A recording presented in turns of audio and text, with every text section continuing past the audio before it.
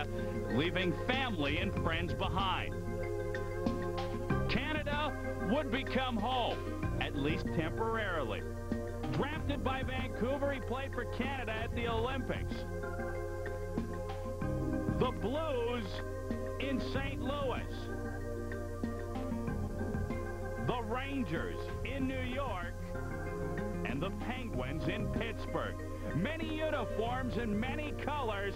Today, he's back home for real, playing for the Czech Republic, playing for his old country.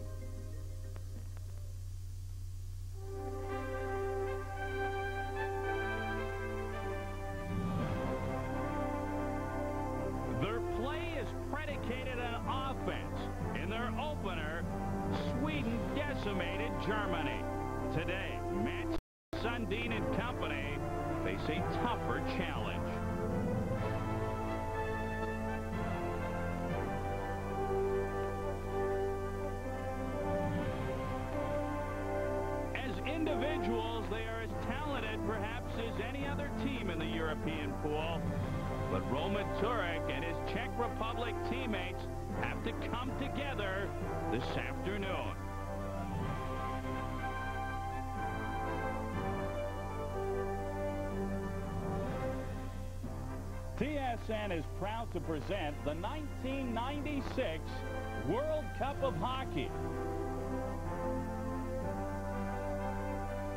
Live from Prague, it's Sweden versus the Czech Republic.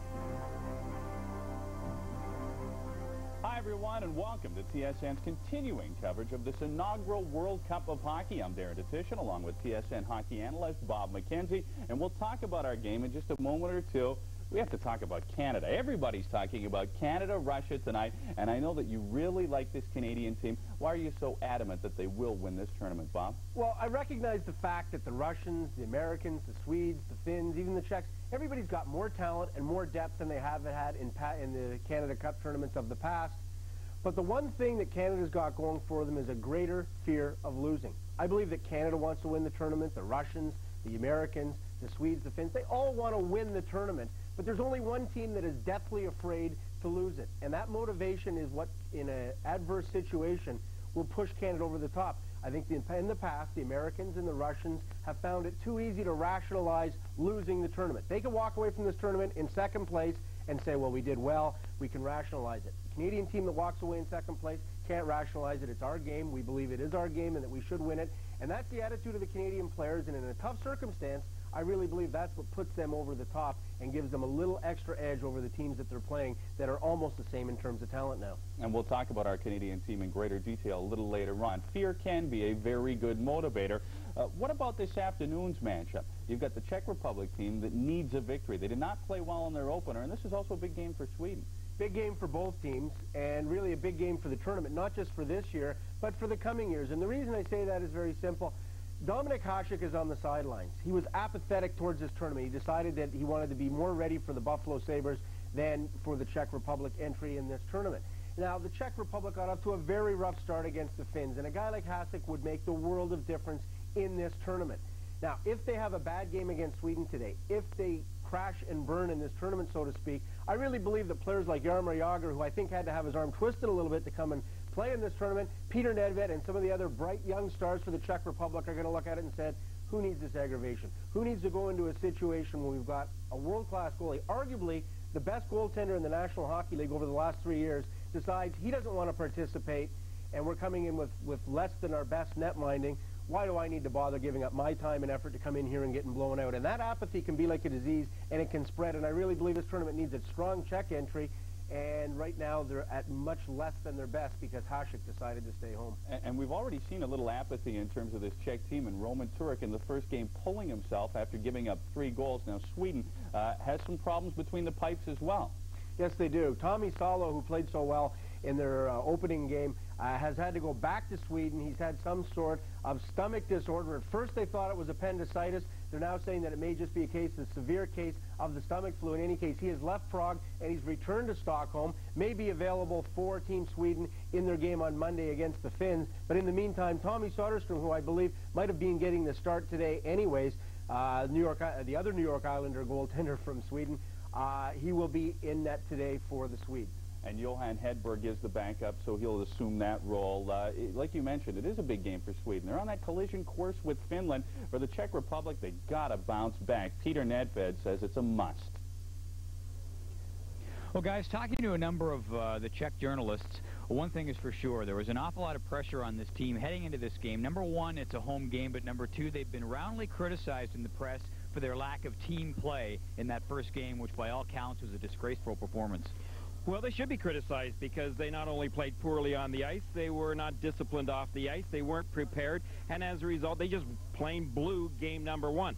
However, they feel confident that coming into game number two that they're a much better prepared hockey club. I don't know that you can just turn the light switch on all of a sudden and get in great game shape great team shape. I think there are still some difficulties on this hockey club ball. Oh, sure you can. You know that. You used to coach. Just click, it's on all of a sudden. Uh, on the other hand, when you look at the Swedish team, they are very concerned with the Finns. They watch Finland excel in two games, and they're feeling the pressure. They want to have a good game because they know that Finland is the chief opposition. They want to be sharp for them.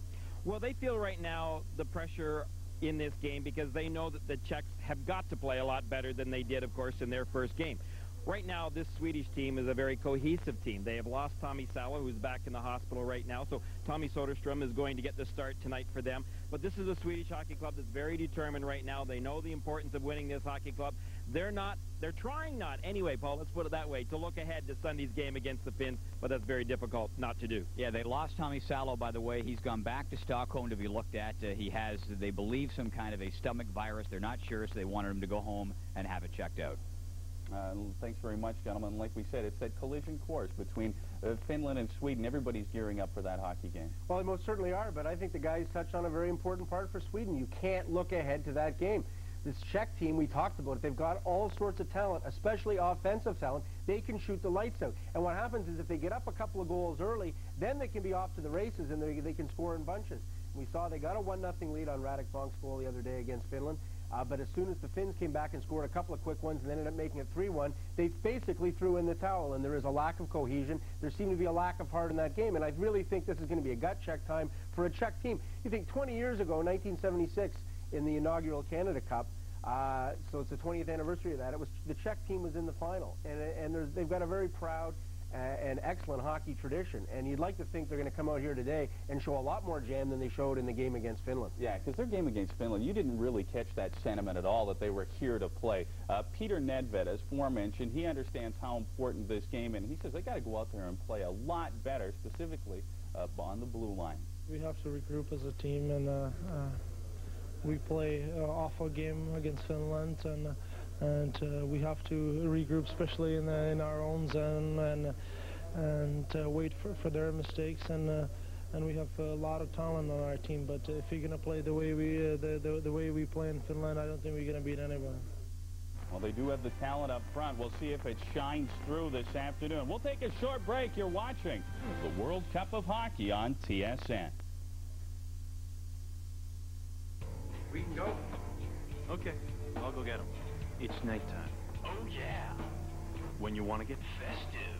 If anything holds you back, hey, Hairboy! Let's go. Remember, it's your duty to motivate. Allow me.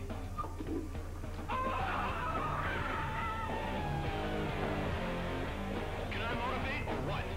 Dry brew. 5.5% alcohol. Molson Dry. This could be good. Nevis is a direct marketer. Things like checks and forms and business cards and labels. You know, being in a small town doesn't hinder our business at all. The majority of our customers use either the Advantage toll-free phone or fax lines. And really, the 1-800 lines are the lifeline between us and our customers. We've had an increase of about 35%. If our 1-800 lines went down, we'd be out of business. Advantage, providing solutions for business.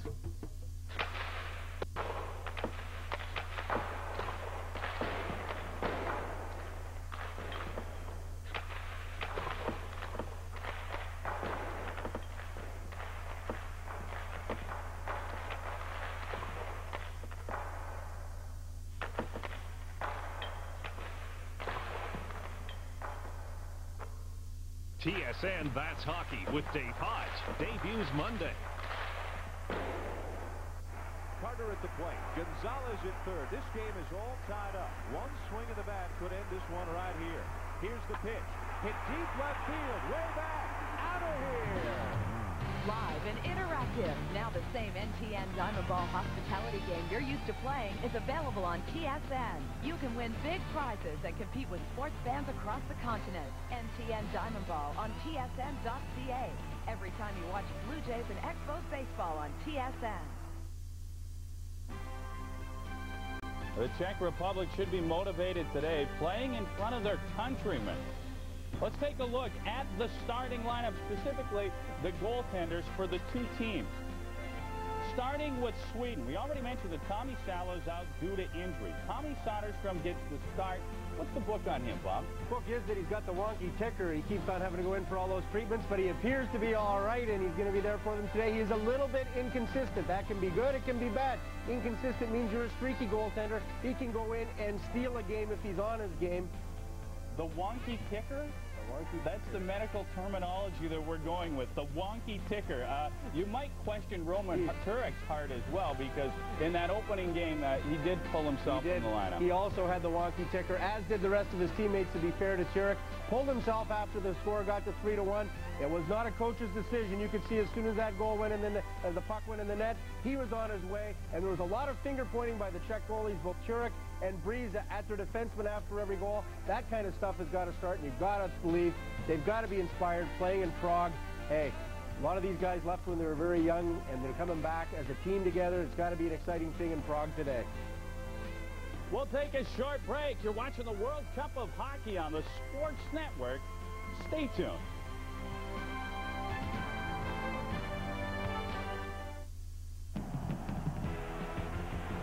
NFL Sizzle is headed your way.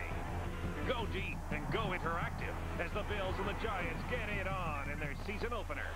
NFL excitement. Catch it on TSN.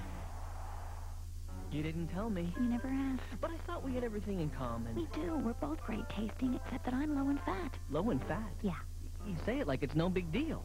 Kellogg's Rice Krispie Squares have always been low in fat. Hey, now you know. Who'd have guessed? TSN is proud to present the 1996 World Cup of Hockey from Prague, Czech Republic. Brought to you by Molson Dry. This could be good. By Canadian Tire, Canada's hockey store. By the Alliance of Canada's only full-service telecommunications companies, proud sponsors of Canada's Olympic team. And by Pepsi Stuff. People who drink it, get it. Ends October 31st. Welcome back to our World Hockey Control Studio. You know, the Czech Republic is a country that has only been in existence for three and a half years, but yet they were victorious at this year's World Hockey Championships. Ludek Bukac, their coach, was ecstatic with his team's performance. Does he have much control over this group, though? Because it's so much different well, than it's that a, it's a completely different realm than what he was dealing with at the World Championships. Ludi Bukac, Ludi Bukac has been around an awfully long time. He's very familiar. He's been in North America. He's apprenticed here in various capacities in North American hockey, so he's very familiar with the North American game and the pro mindset. Having said that, it's tough for any coach to have a lot of control over a team that's thrown together fairly haphazardly at the last minute, as this Czech team was. Especially there was talk about Jaromir Jagr coming in late and maybe wasn't going to come in at all, and then he had some sort of uh, throat problem. Uh, it's, it's just not as cohesive a unit as the Czechs are used to going to at the World Championships. And it's the same as all, same all the countries are now having to deal with that. The Swedes have done a great job of learning how to put a team together very quickly and deal with it, and the Czechs are probably the ones that have had the most difficulty with it. And you know what? You get a feeling that the Finns are also starting to grasp that. Uh, we're ready for the hockey game. Let's head out to Prague in the Czech Republic. Here are Gary Green and Paul Romanuk. Gentlemen, An old, loud building packed to the rafters. If it were a cloth, it would be soaked with atmosphere. We're looking forward to a great one between the Czech Republic and Sweden. The Czech Republic looking to restore some pride after taking a battering from their fans and the media after a disgraceful performance in their first game in this series. Sweden, meanwhile, looking to pour it on and get set for a big game this weekend against Finland. Well, Roman Turek is hoping that he's got a lot of help in front of him in tonight's hockey game. But if this Czech team isn't ready tonight, Paul, I don't know when they would ever be ready because the fans have just been loud. They have been pumped for this hockey game outside the building. They were going crazy with their cheers.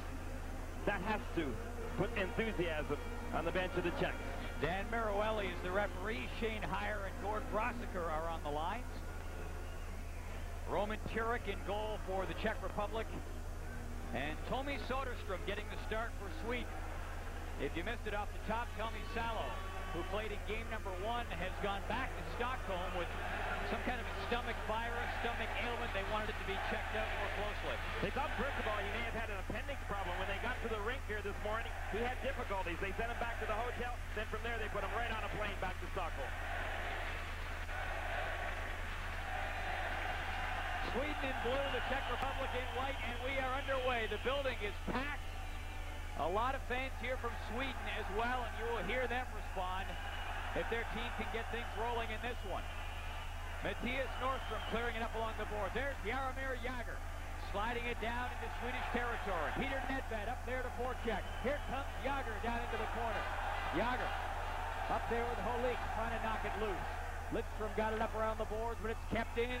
Here's Nedved out along that blue line, just tucks it down into the corner. Nedved up to forecheck. Kept it at the line. Holik battling away. And they will tie it up. Face-off coming up. Great start.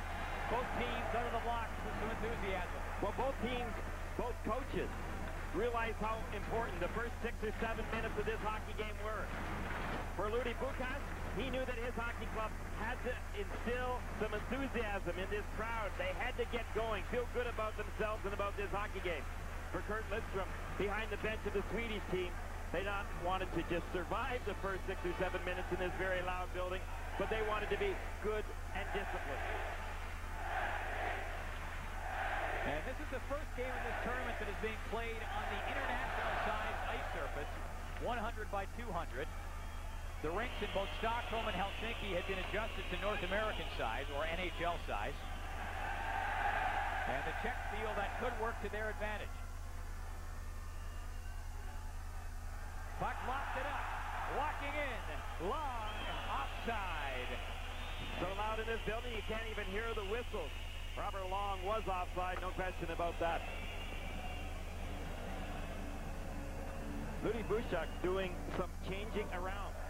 Bukac was making sure that he got the message across. You better be ready. He benched Straka, Kucera, Peter Sykora, and then he took out a whole defensive pairing of Zeber and Vykoukal. He's put in Cabral and Kadlec back at the point, and he's put in a brand new line of Prochazka, Patera, and Vejvoda. So lots of changes for the Czechs. He's getting the message across. You may recall Martin Prochazka, who will be in there. He scored the game-winning goal against Canada for the gold medal at the World Championship.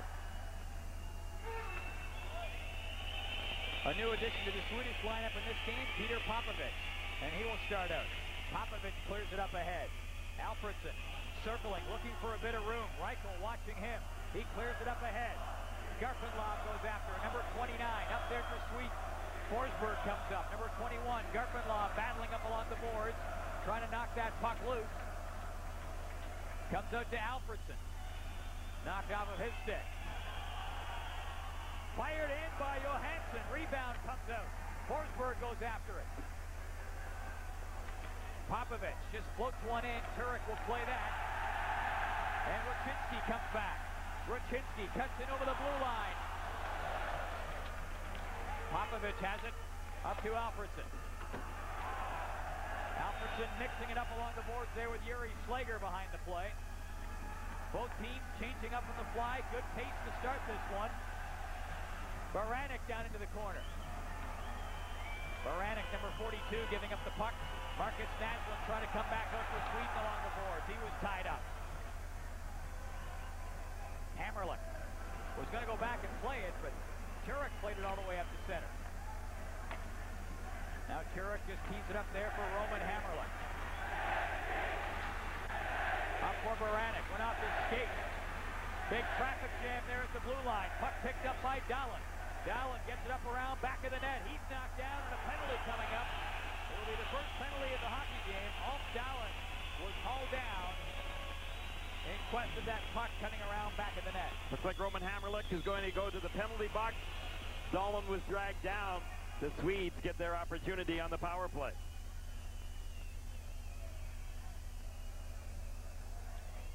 You can see that Dahlen got in behind Hamrlik and then put the grab on him. Spent a little bit of time with Roman Hamrlik today, and he felt that it was a big disappointment the way their hockey club played, but there was no question in his mind that they were just going to go out tonight and correct that problem. I talked to Martin Rucinsky before the hockey game. He felt the same thing. They were very upset the way that they played. They should have prepared much better. They know it now. They didn't do much about it then. Yeah, but you brought up the good point that can you just turn it off and on like a switch? Well, there's one thing that on paper we know, we said that at the start of this tournament, that this Czech team is a pretty talented team with good NHL veteran experience. They'll answer that question, Paul. Here's Sundin shooting. Ripped that one in wide of the net. Forsberg going after it. Peter Nedved moving up after that puck short-handed. Soderstrom out to play it out of harm's way. Jagr up there knocks his man down. Nedved shooting. Soderstrom stopped it, and Jagr almost converted on the rebound short-handed. Here comes Sundin charging back up in over the blue line. It's knocked away from him. 127 left in the power play. Sweden with the man advantage. But the Czech Republic with the two good scoring chances. Jagr's line heading off to the bench for a much-needed rest. I don't think that Jagr's in great shape yet, folks. Here comes Peter Forsberg. Up there with Garpenlov. Back to the line. Lidstrom shooting it. He didn't miss by much with that blast. Fires another one and didn't get much on it. Here's Dahlen. Dahlen shoots. That stop. Rebound in front. Garpenlov's after it. Scramble. And it's covered up. Lots of action around the net. And Turek holds the fort with 54 seconds to go in the power play. Garpenlov and Kadlec doing some pushing and shoving. Lots of intensity in this hockey game. Turek has been standing his ground.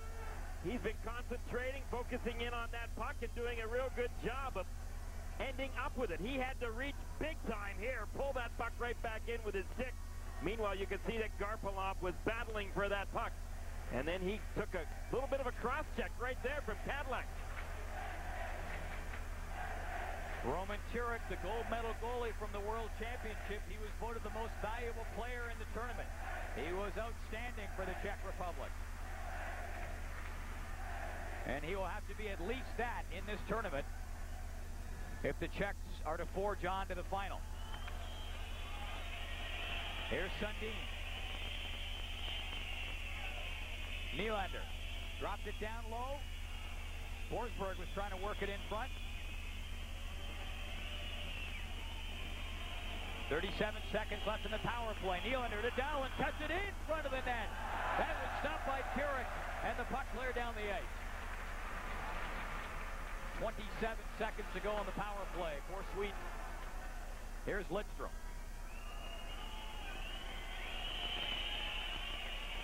Up ahead to Dahlen. Garpenlov going for the front of the net. So is Nylander. Nylander takes it. Sundin to Nylander. Drops it back to Sundin. Shoots. Turek is firing out the leg. Here's Nylander. Dahlen down low. Gets it down to him. Dahlen in front of the net. Garpenlov was charging through the slot but couldn't convert. Penalized player is back out there. The team's at even strength. Puck rolls out. Garpenlov fanned on that one. Lidstrom back at the blue line. Flips it up.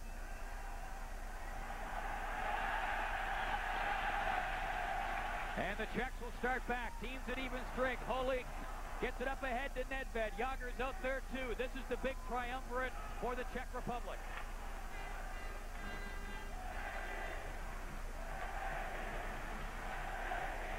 Juhlin couldn't pick it up. Prochazka skating back to touch it. No icing. Prochazka up to Kadlec. Jagr streaking up there through center. They couldn't get the puck to him, though. Up around the boards. Prochazka is looking for it. Popovic moves up. He can't keep it in. 13.54 to go in the first period. 0-0 hockey game. Here's Jagr. Shoots. Nedved was up there, so was Prochazka. Neither could get his stick on it. Juhlin starting back now for Sweden. And another penalty coming up. Juhlin was pulled down along the boards. He got tangled up with Jiri Slegr. And we'll sort this out for you. 13.40 to go in the first, 0-0. The World Cup brings you the greatest moments in hockey. Now, Canadian Tire brings the World Cup into your store. The best sale prices on brand name equipment like Koho, Bauer, Cooper, CCM, Sherwood, Easton, and Canadian Tire's World Cup of Hockey sale. It's here, it's now, and it's real. Canadian Tire. Everyday low prices made better. NFL Sizzle is headed your way.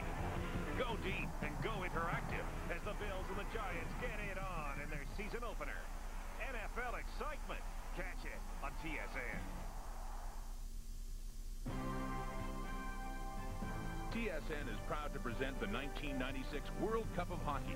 The first period is brought to you by Gillette's $250,000 Triple Play Challenge at a retailer near you.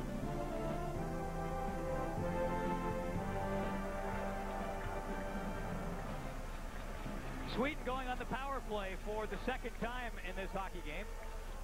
Jiri Slegr goes off. He gets called for hooking. He pulled Juhlin down right along the boards, neutral zone. You can't get keep giving Sweden these type of opportunities.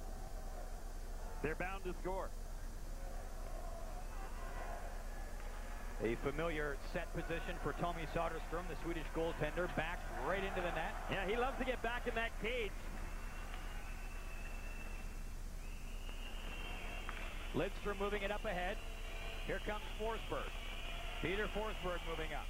Sundstrom out there as well. Sundin to Lidstrom. And Turek got just enough of that as he kicked out the pad. Lidstrom has that red-hot shot from the point. You see it in the NHL on the power play. And you see it internationally as well. Alfredsson. Back to Sundin. Alfredsson drops it down low. Forsberg looking in front, centers it. And big stop there by Turek as he robbed Niklas Sundstrom. I think Sundstrom thought he scored. There's a few in this building that thought he scored. Turek knew he did. Good setup by the Swedes. They're looking for that low opportunity. You can see that Sundstrom got that puck, and boy, he did the right thing with it. He tried to go right between the five-hole on Turek. Turek had to scramble. A little unorthodox, his style, in making that save. But he got the job done. Turek very quick. And we've seen a couple of good examples of that in this game so far. 114 still to go in the power play for Sweden. 12.54 to go in the first period. 0-0 hockey game. Sweden winning its first game of the tournament. The Czech Republic losing its first game. Mentioned that I don't think Jaromir Jagr is in the best of shape yet. That can be understood in many ways. Jagr, as we mentioned in game number one with the Czechs, had his own team in early August. Team Jagr, they played for charity, helping sick kids out. But it wasn't an intense schedule of games by any means. It was all for fun, as he mentioned. I don't think he's in great shape yet, but I'll tell you what, this is the type of game that Jagr the entertainer could really turn this crowd on. They love him here in this country, and for a lot of reasons. By far the biggest cheer when the players were introduced was for Jagr.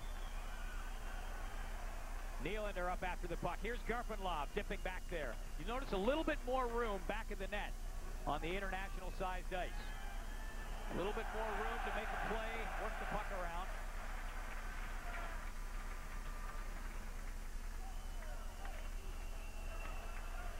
Forty-one seconds left in the power play.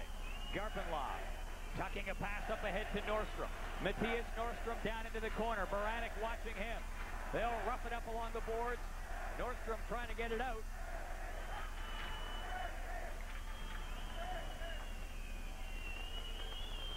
Back to the line now for Johansson. Nordstrom is open and moving in towards the goal. Nylander has it now. Nylander back to the line. Johansson shoots. That one stopped. And Dahlen couldn't get his stick in the rebound. Eight seconds left in the power play. Soderstrom plays it up. The Czechs hurry in to change. There's a good shot on net from the point by Johansson, but there was no one in front to get the rebound and certainly not the screener try to tip that puck in. Penalized player back out there. Slegr tried to knock it back towards the front of the net. Slegr out of the box and right into the play. Nedved shoots just wide. Nedved and Jagr out there now, trying to spark something.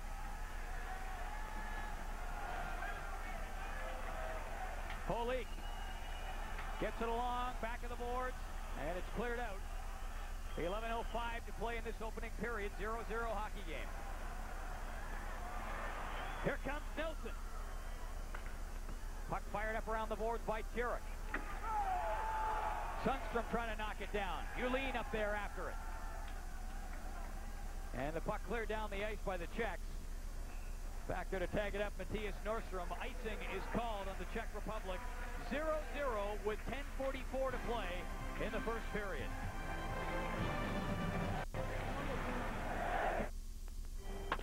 Hi, I'm Sparky Anderson. Tune in to TSN's Blue Jays telecast and watch for my on-the-ball features. Brought to you by Gillette's $250,000 Triple Play Challenge. Coming soon to a retailer near you. Face it, no other razor shaves closer or with more comfort than Gillette Sensor XL. No razor is better.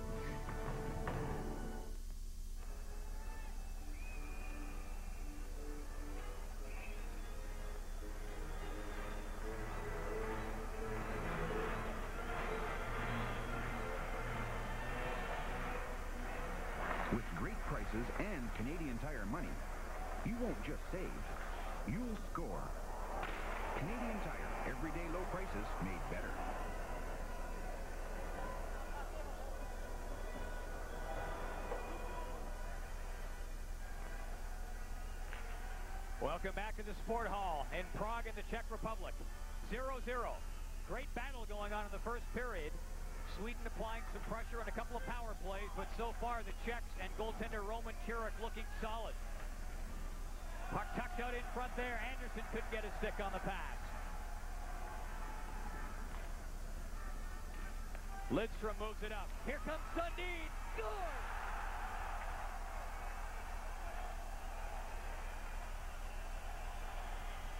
Mats Sundin with a great display of why he is a frontline centerman. Strength and acceleration. And he gets Sweden on the board. He can play any forward position. He has played the point in the power play. And he, folks, is definitely in shape. Top shape. So is this whole Swedish team. He just broke right in. Blew right by Kadlec and then put that puck right by Turek. Mats Sundin, who played a great game, game number one. He's doing the same here in game number two. He goes to the backhand and found the room by Turek. Sundin gets the goal at 9.42. Robert Lang up there after it off the face-off, but it's cleared back out.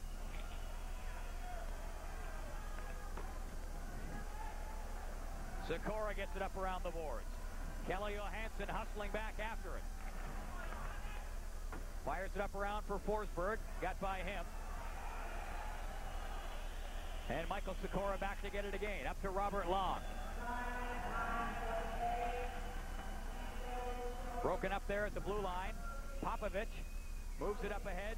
Forsberg spun around.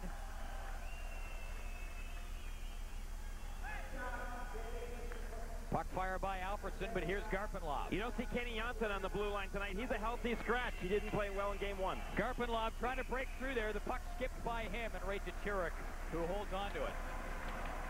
Jonsson was pulled in place of Popovic, who was ready to play after a slight injury. Meanwhile, Ken Forsberg also did a little battling here, replacing Johansson with Naslund. Marcus Naslund in the lineup tonight.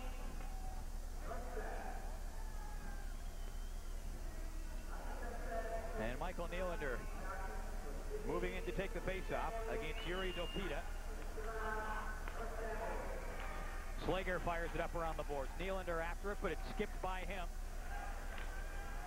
So Sweden with the 1 to nothing lead. Mats Sundin scoring the goal. Nylander banks it back. That's whistled in by Turek. Johansson up after it along the boards. Roger Johansson trying to get that puck loose. It was worked towards the front, but nobody home for Sweden. Here's Beranek. Hamrlik. Tried to send it cross ice, knocked away.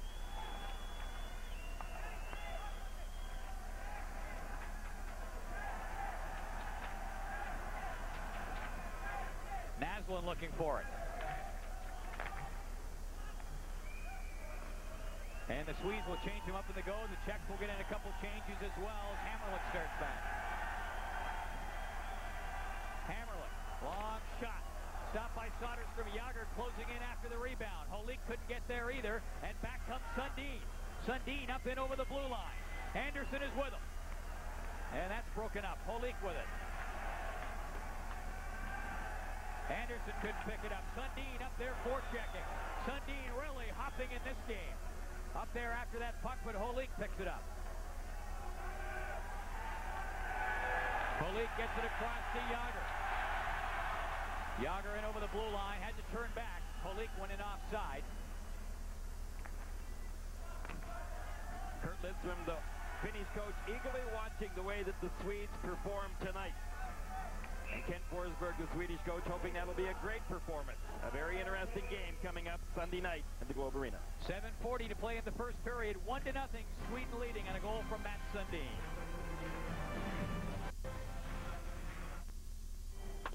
Hi, I'm Sparky Anderson. Tune in to TSN's Blue Jays telecast and watch for my on-the-ball features.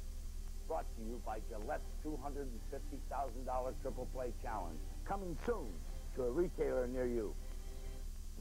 Presenting Gillette Clear Gel Antiperspirant.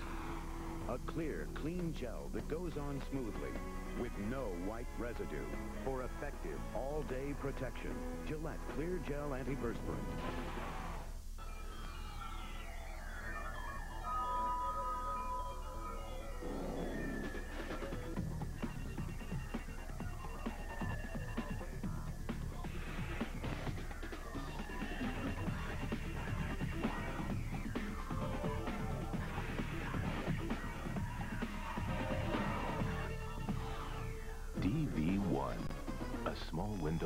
New digital world.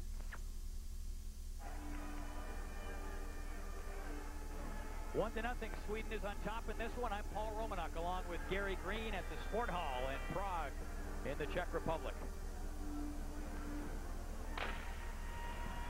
And this is for sure the best game we have seen over in this European pool. The first three lopsided.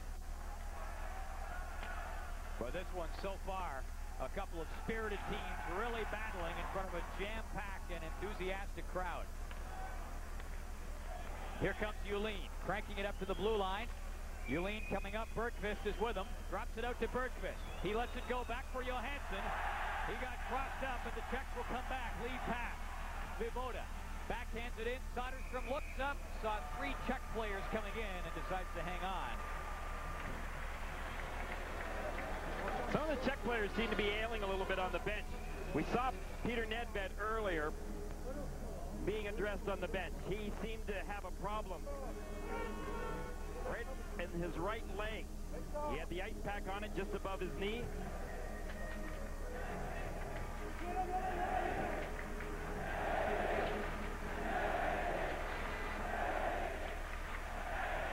Seven oh six to go in the first period.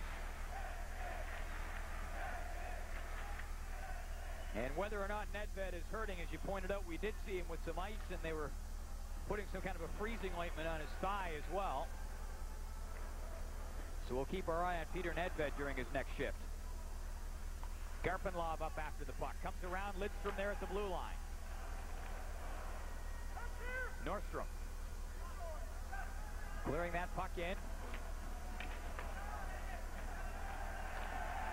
Here comes Robert Lang. Lang clears it down into the corner. Reichel up after it. He'll pick it up, tried to tuck it back in front for Lang. Now Lang's got it. Looking around, Rucinsky was in front of the goal, but that play kind of fizzles out. The puck cleared down the ice. Hamrlik has it.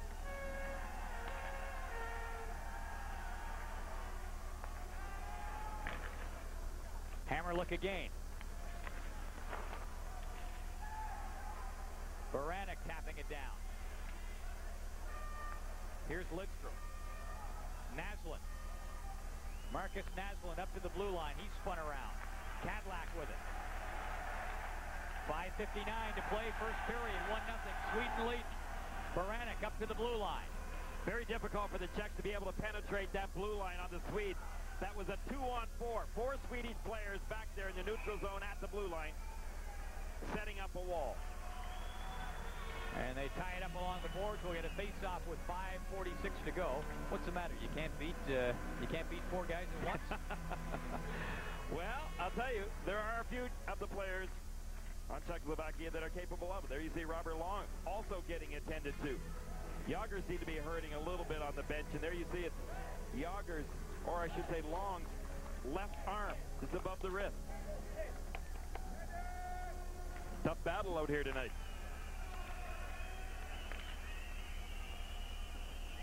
Puck cleared up ahead. Marcus Naslund going after it. Naslund getting up to the corner. And he'll battle his way back towards the front of the net as Albelin shovels it in.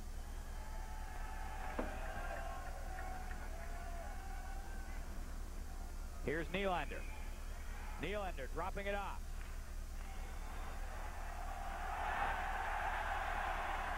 Beranek. Lang, weak shot. That's deflected away by Soderstrom. Beranek up along the boards, trying to dig it back. He gets it to the corner for Dopita. Back in front. Beranek is out there. So Sykora. And a penalty coming up. I don't know who's getting it there. They were both rolling and tussling around, both Naslund and Bonk.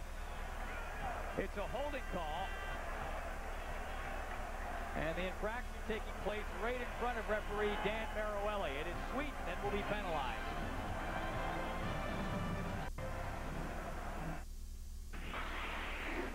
Greatest player in international hockey history? What's the greatest goal? The greatest team? You tell us. Enter Canadian Tire's greatest moments in hockey contest, and you could win great hockey prizes, including the grand prize trip to Montreal, where you, nine of your friends, and hockey legends Paul Henderson and Slav Tretiak will watch Game 2 of the World Cup Hockey Finals in your own private luxury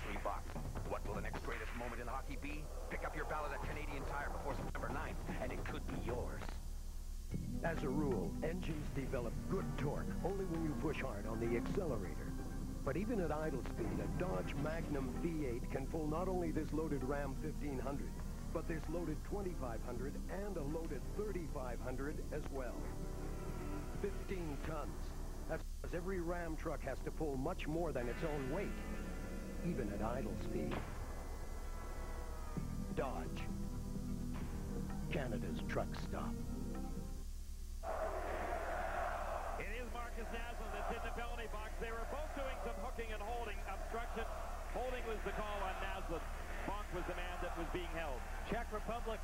Power play of the hockey game and a chance to get on the scoreboard. Jagr dropping it down low for Nedved. Nedved tried to get it to Holik. That's the threesome up front. Hamrlik is back at the blue line along with Yuri Slegr. So Coach Ludi Bukac getting the big guns out there right off the bat on this power play. And get a big rise under this home crowd. Get them back into the game. Holik along the boards. Trying to work it loose in tandem with Nedved. Here's Jagr. Jagr checked along the boards. Good persistence by Sundin. Here comes Sundin. Jagr watching him, but Sundin got it back. Good shot by Sundstrom. Sundin is on fire in this game so far. Here comes Jagr back the other way. Jagr looking, tried to center it in front. Sundstrom stopped it. Amazing shot. Slegr whistled it on goal. Here's Hamrlik. Good defensive play by Niklas Sundstrom. He just anticipated that pass right in the high slot, picked it off perfectly. 45 seconds left in the Czech power play. Long pass up there. Robert Lang almost lurking in the weeds and coming out with the puck. But he couldn't catch up with it at the blue line without putting himself offside. 42 Nick, seconds left in the power Nicholas play. Niklas Sundstrom from the New York Rangers, good hockey player. He reads the play well. Barry Smith was commenting on how well he's played. Tommy Soderstrom, of course, getting the start tonight because Tommy Salo is out. But one Tommy to another, Tommy Soderstrom from the New York Islanders. Johan Hedberg is the backup goaltender. Remember, Tommy Soderstrom was the goaltender with five heart operations he had, and one of them this past year.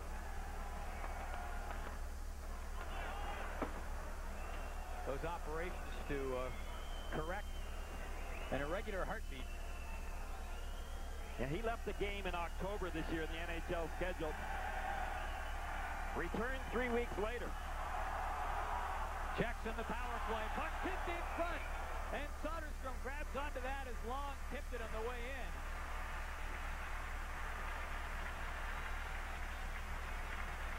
Boy, his heart may well have skipped a beat there. Close well, call. I don't think there was any question by the Swedish team that they were very confident in Tommy Soderstrom's capabilities at coming in and filling that role. Rucinsky, as mentioned earlier, was ready for tonight's hockey game. He's got great speed and acceleration. He can really pick it up. He had an excellent year when he came across to the Montreal Canadiens. Rucinsky had 25 goals and 35 assists in just 56 games. Canadiens expecting big things from him. Yeah, he was fourth in scoring on the Canadiens after the trade.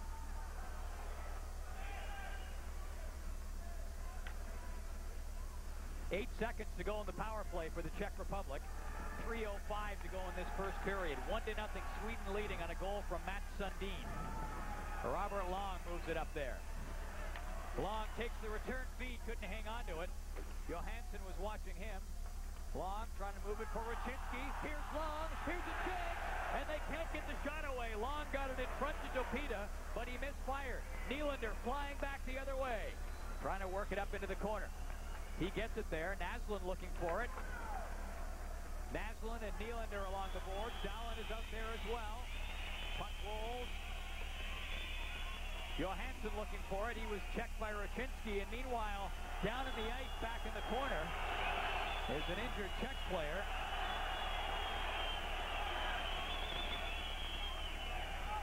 Some pushing and shoving going on when the whistle finally blew. You can see that the team doctor and trainer are taking quite a time to get out there. I'm still not sure who that player was. Now there you see. He's being attended to. Yuri Dopita, it seems, went down and is now being helped up. They didn't consult with him a great deal. Just kind of lifted him right back up. Dragging him off. Yuri Dopita just missed a scoring chance at one end and heading back into the Czech zone. Seemed to have been favoring that right leg.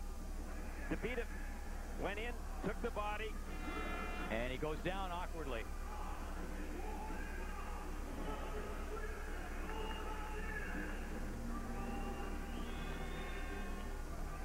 Watch it from this angle. Watch Dopita as he goes into the boards. He falls backwards. And it appears that the right leg may have just buckled a little unusually. And there you can see he is having that right leg addressed. Dopita was one of the Czech players that had some zip in game number one. He played in the last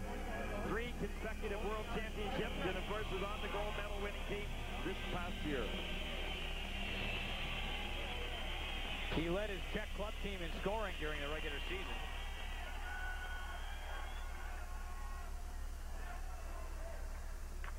Two twenty-two to play in this first period. One to nothing is the score. Sweden is leading the Czech Republic. Here's Lidstrom. Jagr, Nedved, and Holik out there for the Czech Republic. their best offensive line. Lidstrom getting it up ahead. That was Anderson trying to come in. That's broken up. Matthias Nordstrom. Here's Jagr with it. Has Nedved to his right. And Jagr stripped of the puck there at the line by Anderson coming back the other way. Sundin is with him. So is Sundstrom. Sundstrom will give chase into the corner. And Jagr starts back. Holik comes in over the blue line. Offside called on the Czech Republic. But every time that the Czech gets the puck, it seems, in the neutral zone and are looking for the offensive zone, they're also looking at four blue sweaters. Twice on that shift. First of all, two on four, led by Jagr. Then it was three on four. The Swedes are very disciplined at their defensive play and pride themselves in it. Or the neutral zone trap that you've heard so much about the last few years being employed in the NHL actually uh, has its roots in Sweden.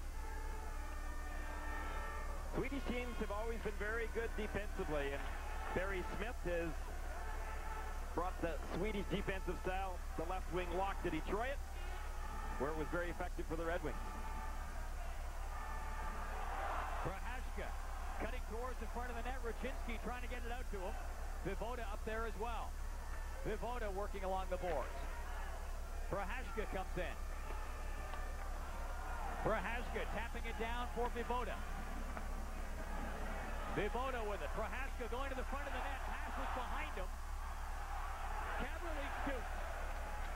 He had moved in from the blue line and had trouble controlling the puck. Rucinsky whacking at it.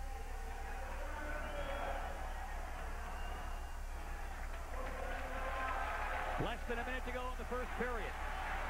I enjoy watching the Swedish team play, Paul. In their own end zone, they have great confidence in each other. They play as a team. They back each other up, but they do their job. Forsberg gets it across. Garpenlov in front to Forsberg, and it backs away from him. 34 seconds left in the period. Czechs break in. Rucinsky fired one. That wobbles into the corner. Reichel up there after it. Here comes Rucinsky up, throwing his weight around. Reichel's trying to get it in front. He's battling away. Rucinsky looking for Lang in front of the net. 15 seconds left. Rucinsky along the boards. He and Juhlin get tied up and the puck comes out.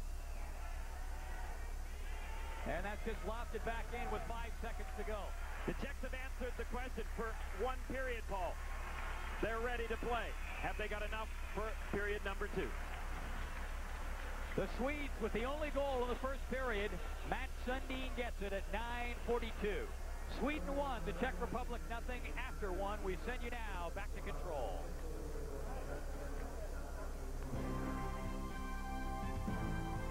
World Cup of Hockey live at the intermission is brought to you by Pepsi Stuff.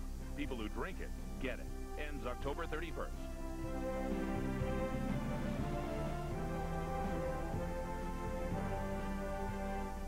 This is a little more like it. This is without a doubt the best period of hockey that we've seen from the European pool so far. No question. The Czechs have come to play today, and the Swedes are playing their kind of game. Gary and Paul talked about it. The neutral zone trap. There's always three guys back, very responsible in their own end. And if they can get a two-goal lead, they will definitely try to sit on it. That is their style of play. But keep in mind the Czechs can score goals in bunches, and they're showing a lot more spirit, a lot more heart today than they did against Finland. Well, we expect Canada will show a lot of heart tonight as they take on their arch rivals, the Russians. When we come back, we will talk Team Canada. This is the World Cup of Hockey on TSN.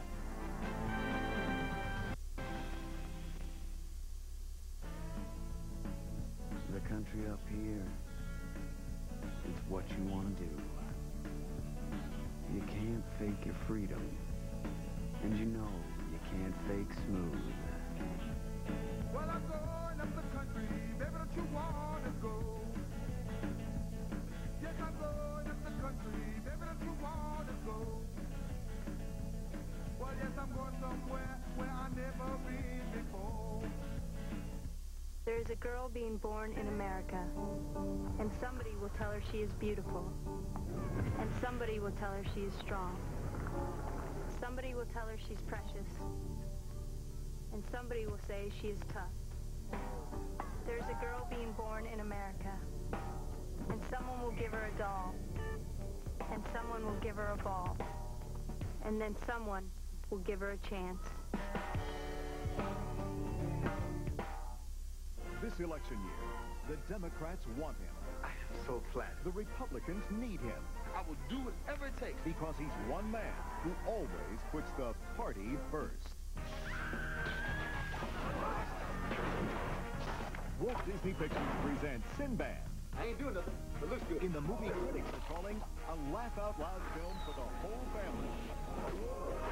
First Kid starts Friday, August 30th at a theater near you.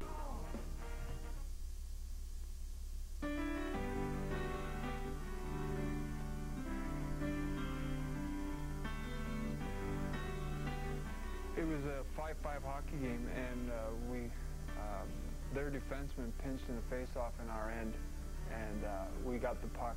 Uh, Dale Hawerchuk, I believe, knocked it by the guy, and we ended up getting a three-on-one. And the whole play was created by Murphy, uh, not stopping. He kept going to the net, and he took the defenseman to the net. And as he took the defenseman to the net, Mario, with enough hockey sense, you know, dropped the play a little bit to get himself in the open. And, uh, I just threw it to Mario, and he threw it in the top shelf. The goalie had no chance. Uh, so Murphy made a great play. Mario made a very smart play in dropping back a little bit. For me, it was just a matter of getting him the puck, and it was in the net.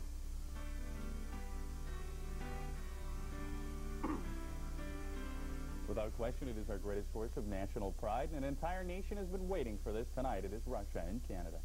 Yeah, everybody's looking forward to it, and I know that the Canadian players are looking forward to it because the essence of Canadian hockey is that we like to play games.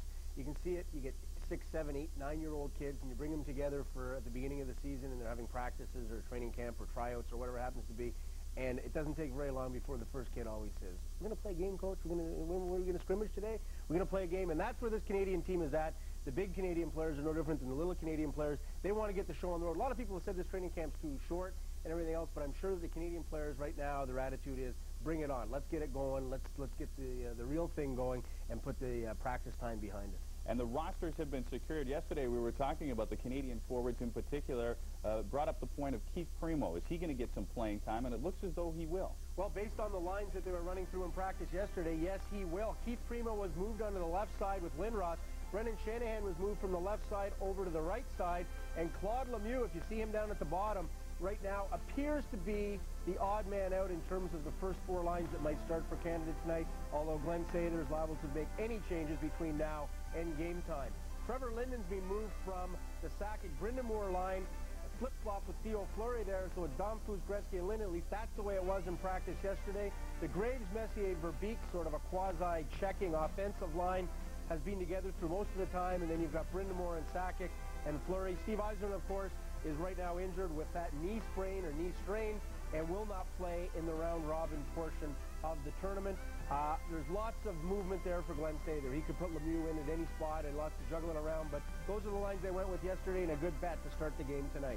And Ron Francis, uh, noticeable by his absence. Unfortunately, Francis is out with injury. You mentioned the 26 players have been selected, and Glenn Sather will interject them at his discretion. What about the blue line? Well, you've got to go with six defensemen in tonight's game, and again, this is just a guess on my part, but I've got to believe that Scott Stevens, Paul Coffey, Scott Niedermayer, Rob Blake, and Eric Desjardins, if they are all healthy and ready to go, will be five of the six starters. Then it will be up to Glenn Sather to decide, is he going to go with Ed Jovanovski, is he going to go with Adam Foote, is he going to go with Vailoda line? I can't imagine that Sylvain Cote, just having come to the team yesterday, is going to suit up tonight my money is, if he's healthy, Adam Foote, number 52, being the sixth defenseman, although I wouldn't be surprised to see Jovanovski. I think it'll be one of those two guys in the sixth spot, assuming all the other guys are healthy.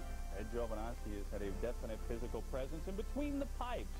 We still don't know at this point in time who the starter is going to be.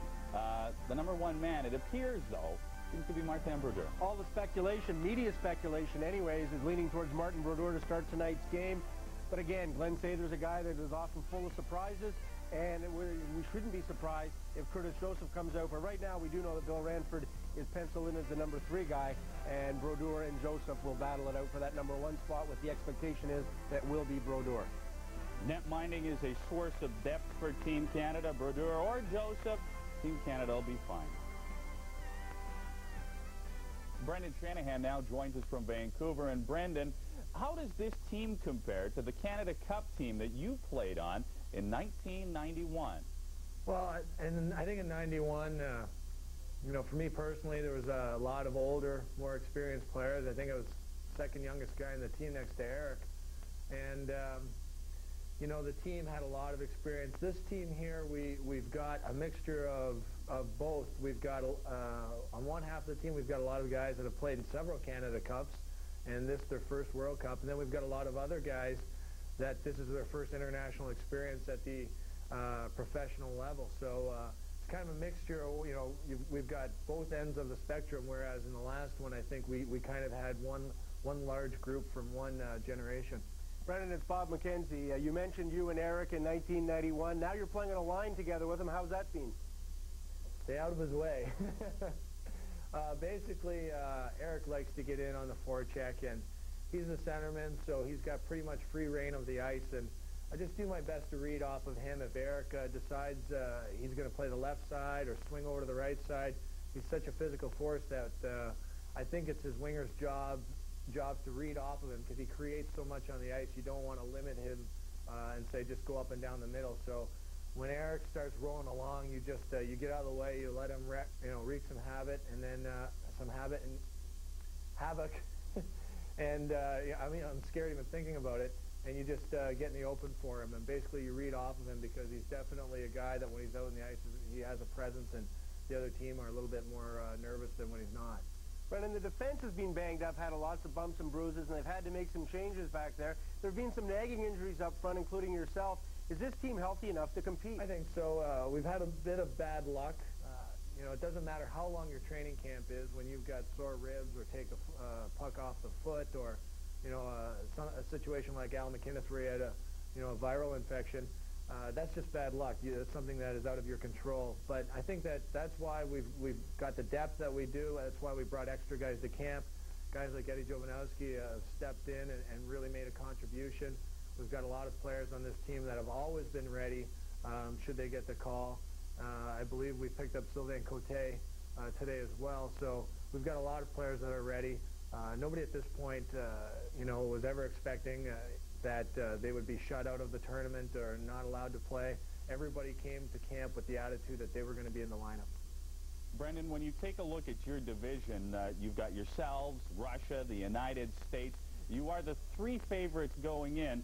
Uh, how would you rank them or seed them heading into the tournament?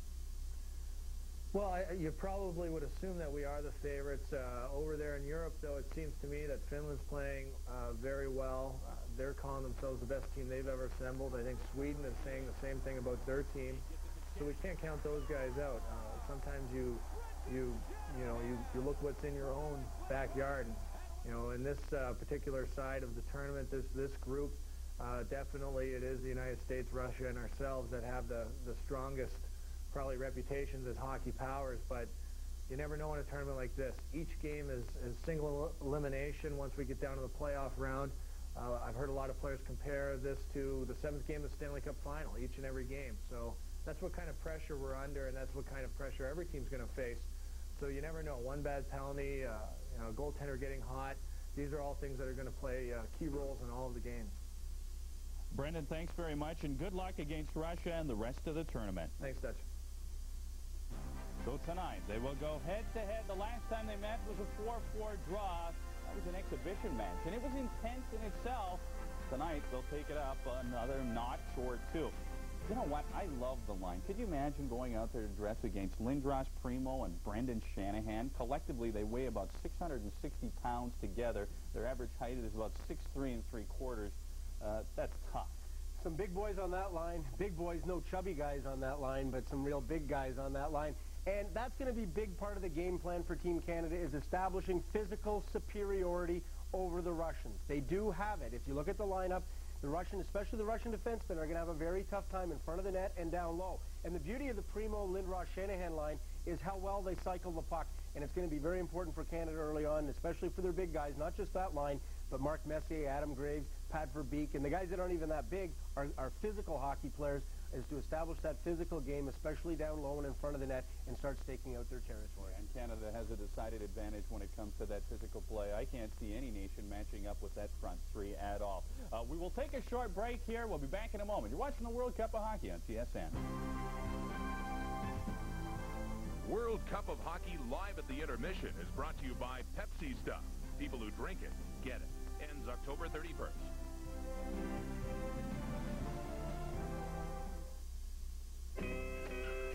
Your cheating heart will make you weep.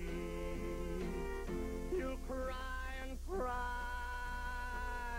and try to sleep, but sleep won't come.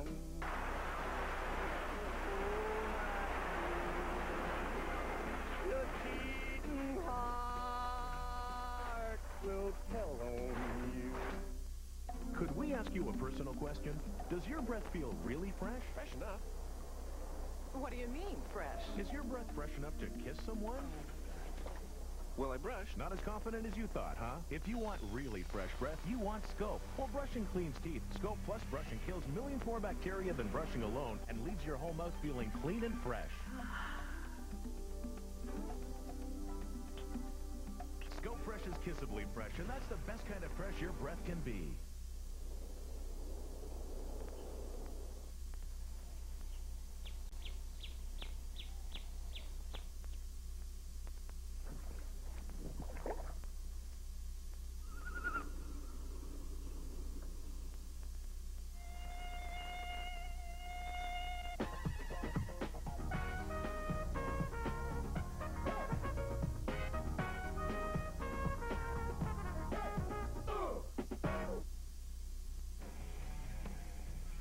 Now for our play of the period. There was only one goal scored in that first period, and it was a dandy, though. Mats Sundin walks in. He goes five-hole on Roman Turek.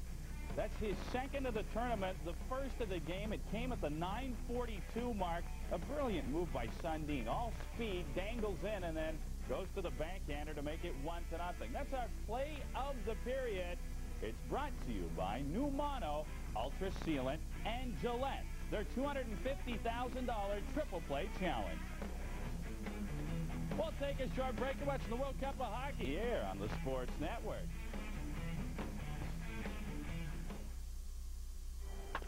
Hi, I'm Sparky Anderson. Tune in to TSN's Blue Jays telecast and watch for my on-the-ball features.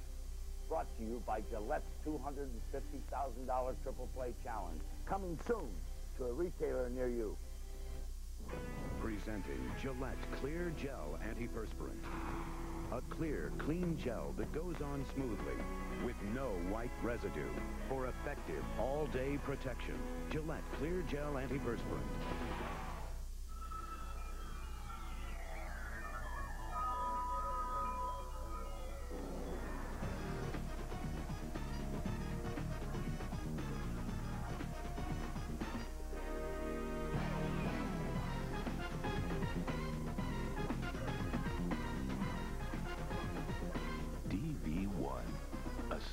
To a new digital world.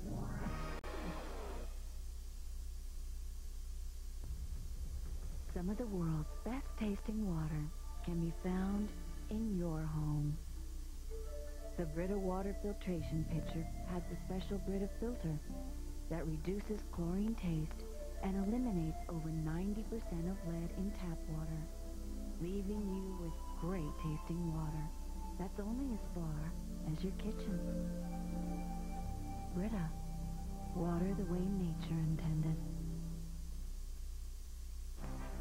This first period scoring summary is brought to you by Gillette's $250,000 triple play challenge. Mats Sundin with the lone goal. He makes it one to nothing for Sweden. As for the shots on net, even. Sweden with nine. The Czech Republic with nine. Really good 20 minutes of hockey. For their thoughts, here's Paul and Gary. There we go. That's more like it. That's the kind of hockey we were expecting to see in this World Cup tournament. A great first period and lots of credit to the Czech Republic answering the bell, uh, proving something to some of their fans after a disgraceful performance in the first game of this tournament for them. Well, the Czechs were up for the challenge. This crowd's up for the challenge tonight. The Czech team came out and they at least had intensity out there. They were working together as a hockey club. However, They've got two more periods to play, and I just wonder about their conditioning right now. The Swedes, I have no question about their conditioning. I have no questions about their defensive capabilities and their team play right now. it's going to be a tough battle for the Czechs to try to win this hockey game well, still. You touched on it uh, late in the period. I mean, this Swedish team, the more you watch them, the more you are impressed. In some ways, they look to be in mid-season form.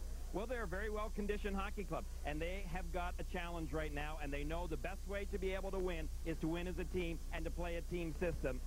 And Kent Forsberg has got them playing that way. Yeah, only one goal in that first period, a beauty by Matt Sundin. One nothing after one. Hopefully that energy will be there in the second period as well. Thanks, gentlemen. We'll take a short break when we come back. It's the second period of play here on TSN. What's it like? Kind of hard to describe. Come on, you gotta tell us. Okay, we're all great tasting. Yeah. But I'm low in fat. Low in fat must be nice. Kellogg's Rice Krispie Squares have always been low in fat. Hey, now you know. You're so lucky. 500 miles, 366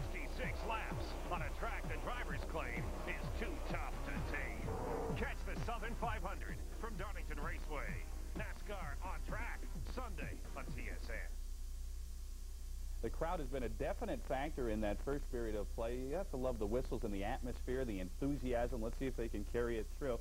Here are Paul Romanuk and Gary Green. Gentlemen,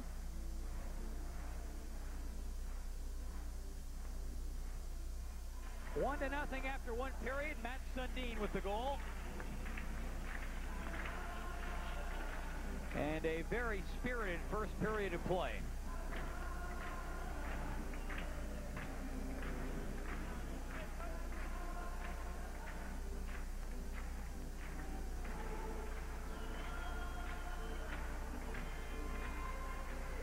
Swedish team right now look as though even before the puck is dropped that they know what their mission is for this second period. Team defense wins hockey games as far as they're concerned, and especially when you've got the lead.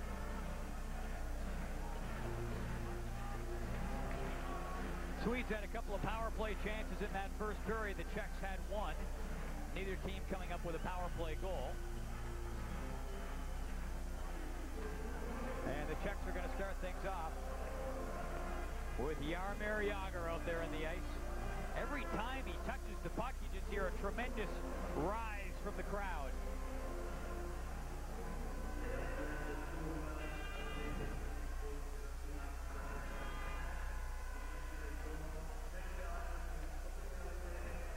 It's going to be Jagr, Holik, and Nedved out there to start things off for the Czech Republic in the second period.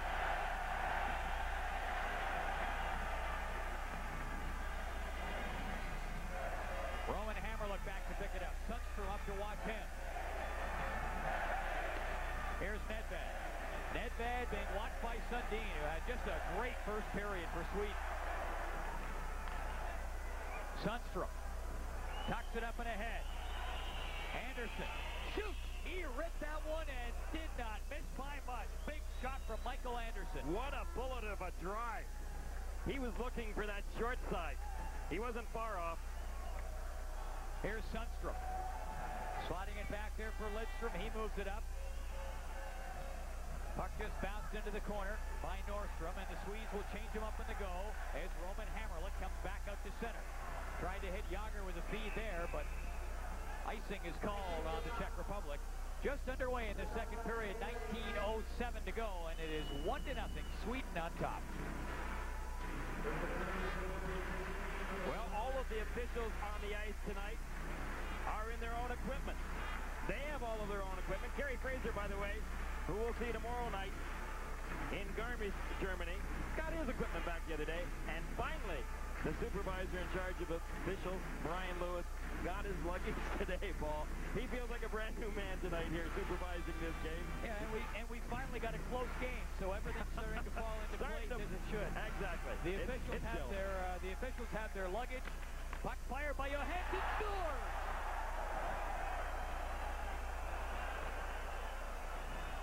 Calle Johansson right off the faceoff. And Turek got a piece of it, but just a piece. Off their key.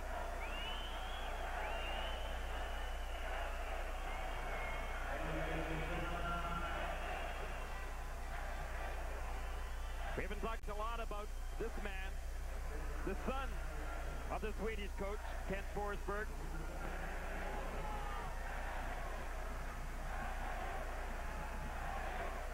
He went to the net. The big drive by Johansson. Calle Johansson's got an excellent shot. That puck did just trickle by Turek, giving the Swedes a 2-0 lead and an even more comfortable means of playing defense. Puck flicked down into the corner. Garpenlov up there after it along with Forsberg. Alfredsson gets it back. Johansson tried to power another one through. Alfredsson tied up. Garpenlov up there after it. Slides it for Forsberg. Alfredsson along the boards for Sweden. Johansson at the line. Chips it up into the corner. Here's Forsberg. And the puck comes out. Calle Johansson with it.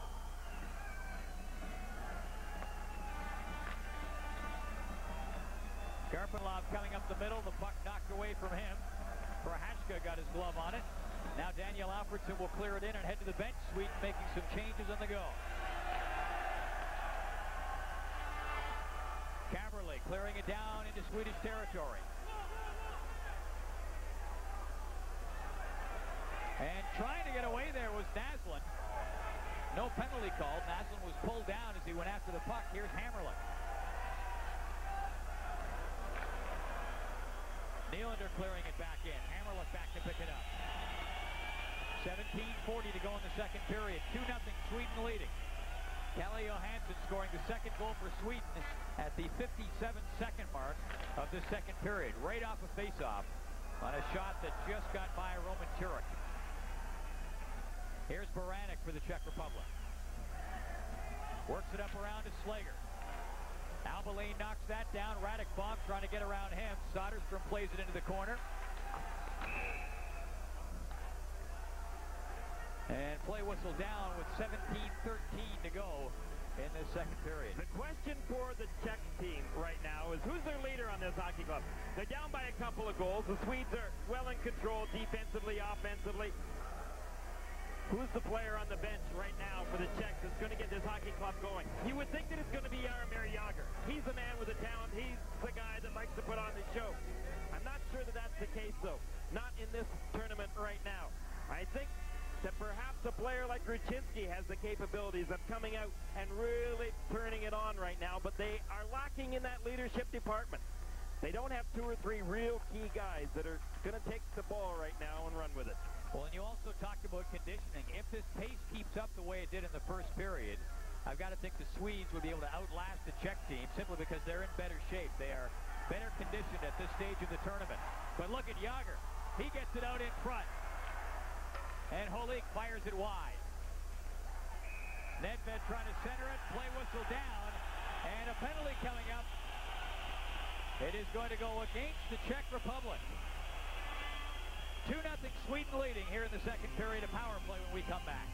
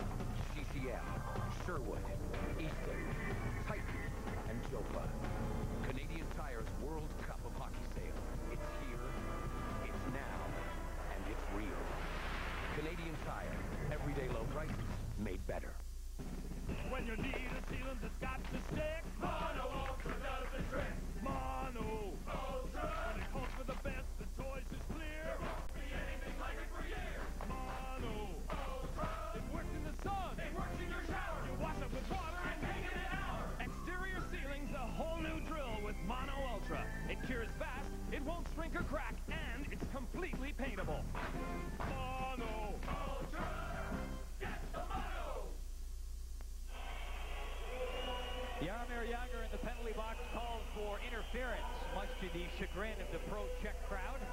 Well, we just talked about Jagr and who's the leader on this hockey club. Jagr looked a little frustrated when he took that penalty. Now we'll see how the Swedes react. If they were to score in this power play, that might make for a very fragile Czech team.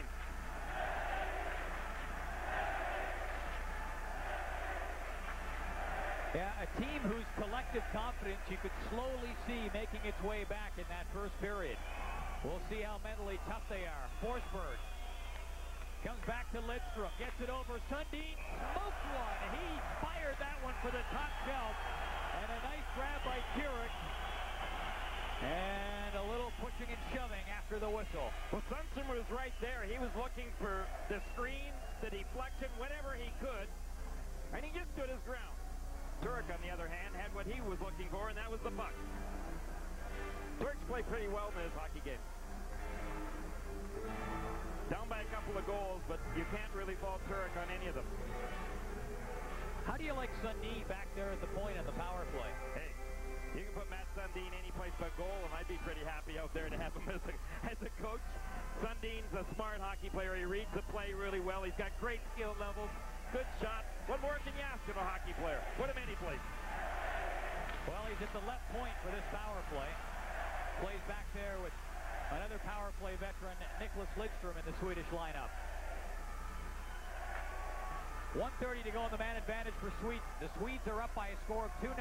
Alfredsson just chipping it up down into the corner. Holik gets back there, has to move quickly, but he gets it ahead. Here comes Nedved, short-handed. Nedved works that puck around, eats up some time, and finally gives it up. Lidstrom, slickly to center. Works it up ahead. Alfredsson gets it there. Sundin closing in. Alfredsson knocks it down. Up around to Sundin. Sundin along the boards. Here's Lidstrom. Forsberg's going towards the front of the net. Lidstrom pounds it on goal. Rebound comes out. Alfredsson bearing down on it. He's knocked to the ice. Slegr almost got it up ahead to Peter Nedved. He was scot-free if he had the puck. Sundin comes in. Drops it back. Forsberg works it up. Sundin chops at it. That's knocked away. Hamrlik after it in the corner. Puck up along the boards. Lidstrom, there's the blue line. 27 seconds to go in the power play. On the first scoring opportunity the Swedes had on that power play, Niklas Sundstrom was doing an excellent job of standing in front of Turek. In fact, I wasn't quite sure, did Turek make that save or did it hit Sundstrom? Garpenlov after it up along the boards. Kicks it back to the blue line. Dahlen is down low. Garpenlov trying to work it to him. Broken up by Drahomir Kadlec. And Kadlec gets it down the ice. And that will do it for the power play. Jagr back out there. And he'll get right into the center of things, no doubt.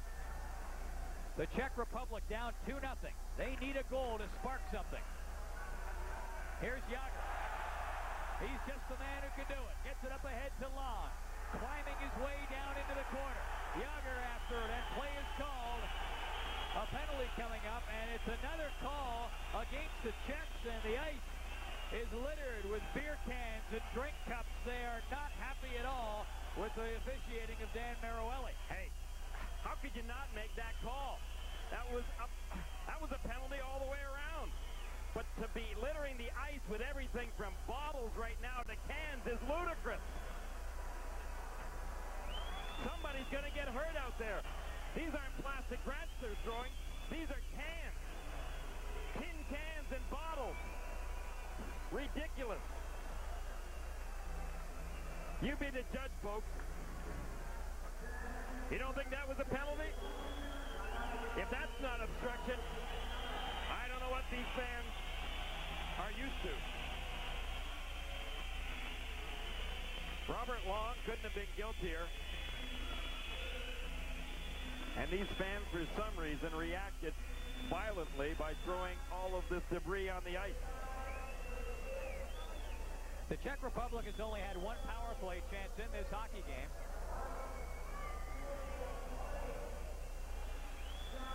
The penalty calls have definitely favored Sweden so far. But yeah, that that last example, how could Dan Marouelli not call that? Well, look at this, though. I mean, would you want to be a player out there with all of those cans? Either team.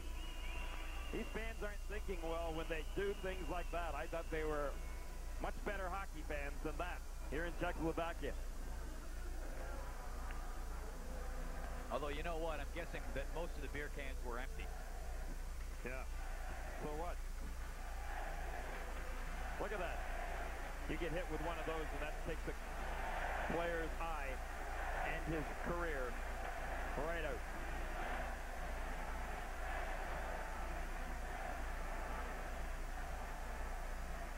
I don't see a lot of ushers in the stands here doing much about it. In fact, I'm straining to see one. My conclusion is they're not here. they're at the gate where we saw them in his building. Thank you, Sherlock. Yeah.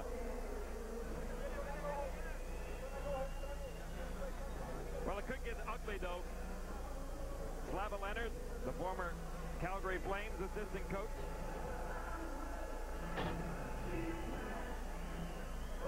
If the Swedes were to score on this power play opportunity, look out.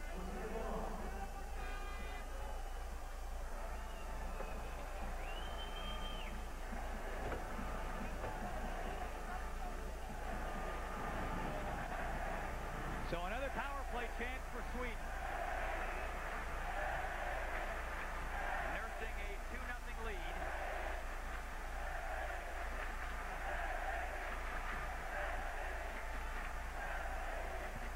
And that's Cash just clearing it down into Swedish territory. The Swedes will set up. Jagr and Nedved out there as penalty killers. So that's an offensive threat, even shorthanded. Garpenlov sliding it down to the corner.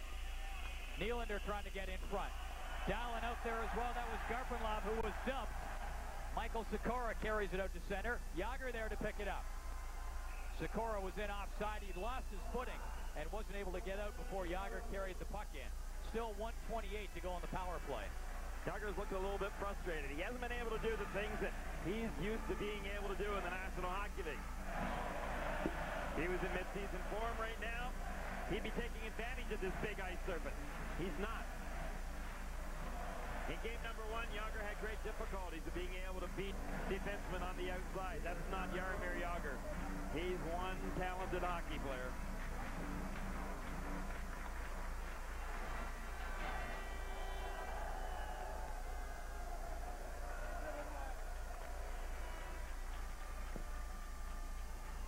Comes Lidstrom. Lidstrom getting it across. Nylander just carries it in. Nylander gets it down into the corner. Nylander will take it back. Bit of traffic down in front of Hasek.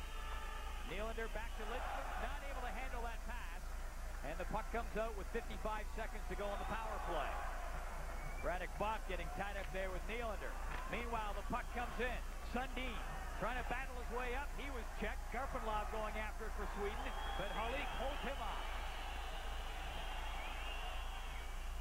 And just eating up time, Jiri Slegr takes a little spin, gets it to Hamrlik, back to Slager. 30 seconds left in the power play as the puck is cleared down the ice. Ulf Dahlen, the nine-year veteran of the National Hockey League, is sure a valuable man still out there in the ice in the National Hockey League and certainly for Team Sweden. In over the blue line, Sundin is on the fly. Gives off to Alfredsson. Back to Sundin. Back to the line. Johansson shoots. That's knocked down on the way through. Here's Forsberg. Peter Forsberg has Sundstrom in front. They work it around. Comes back to Sundin. Down low to Forsberg. Trying to center it in front. Puck comes back to Sundin. Penalized player back out there. Sweden still with the pressure on. And Turek will hang on to it. Alfredsson fired it in there on goal. 12-17 to play in the second period. Sweden up 2-0.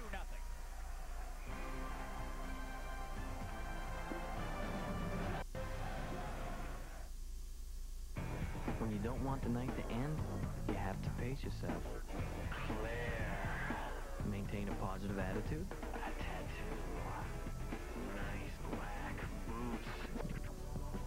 Prepared for anything.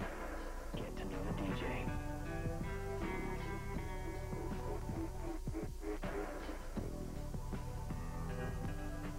Dry brew. 5.5% alcohol. Molson dry.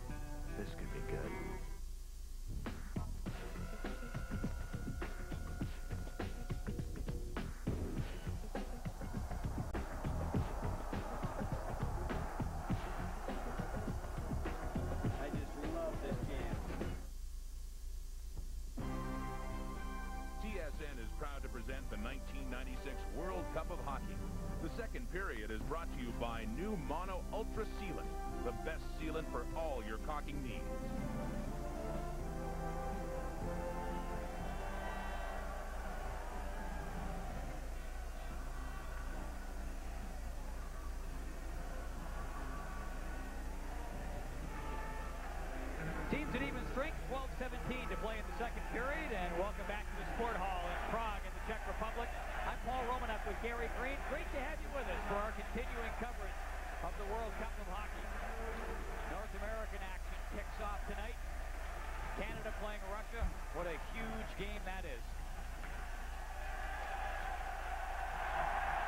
But a big one going on here in Prague. The Czechs trying to get back on equal footing here in this tournament after losing the first game decisively to Finland. And Sweden looking to keep things on a roll as they look ahead to a big game against the Finns on Sunday. But obviously, the Czechs with a far better performance in this hockey game. They're not out of it yet. Down by a couple is tough against this team, as we've talked so often about. When they've got the lead, this is a very difficult team to play against because they lock the neutral zone. They're great defensively in their own end. It's tough to be able to penetrate.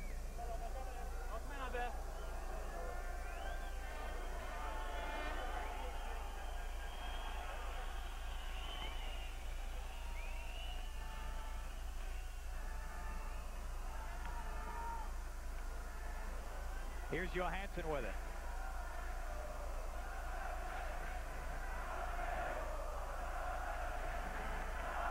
Johansson looking for a couple of options. And chooses the one on the left wing, but the pass does click. And icing is called. Juhlin wasn't able to wheel that pass in. The Czechs right now are going to have to find that speed, that breakaway speed to the neutral zone. If they're forced to dump it in, they've got lots of room there with the international ice surface. They've got to use that speed then to be able to get possession of that puck down deep. They've got to find ways of testing Tommy Soderstrom. Calle Johansson has one of the goals for Sweden in this game. Ulf Dahlen, the veteran, has looked solid as well. There's this check line that was inserted for the game tonight. Patera, Prochazka, and Vejvoda.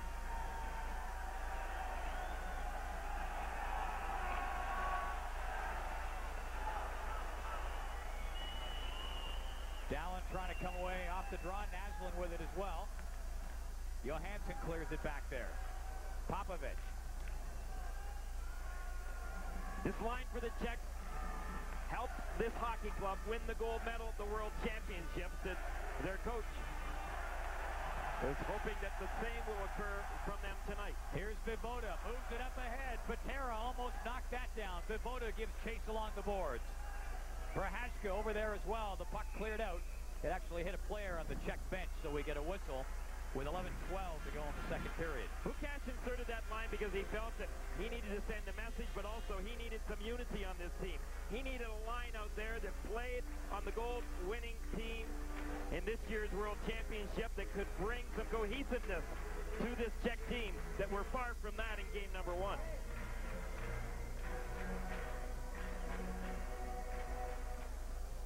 Yeah, when you compare them to the Russian team and look at the veteran leadership on that club, Makarov, Larionov, there really is nobody of that stature in Czech hockey playing on this team.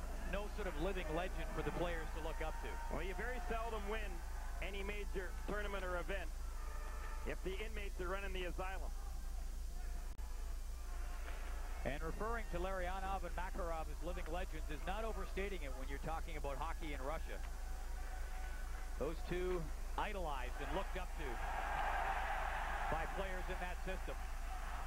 Puck dropped off of the line. Kaberle couldn't get the shot in towards the net. Puck steered in over the blue line. Alfredsson wired that one well wide.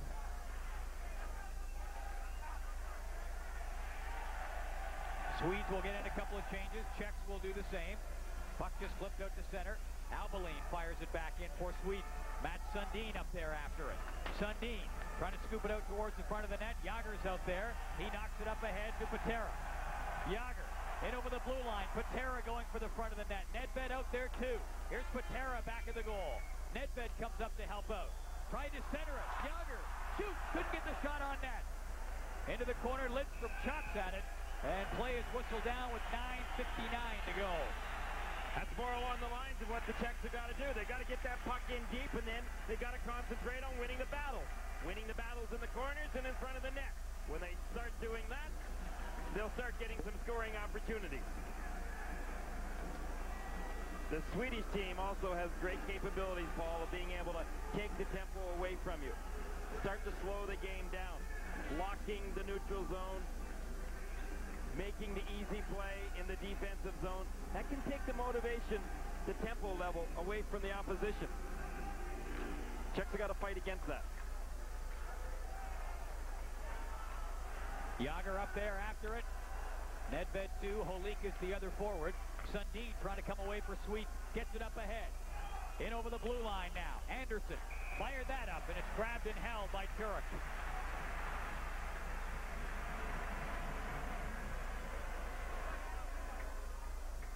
Turek just taking the safe and easy road. No blaming him for that.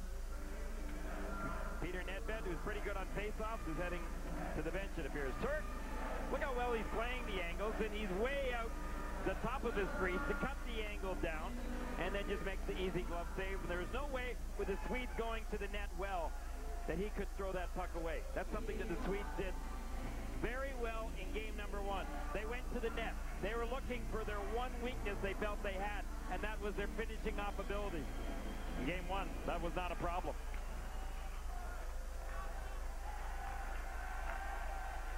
Patera is looking for that puck.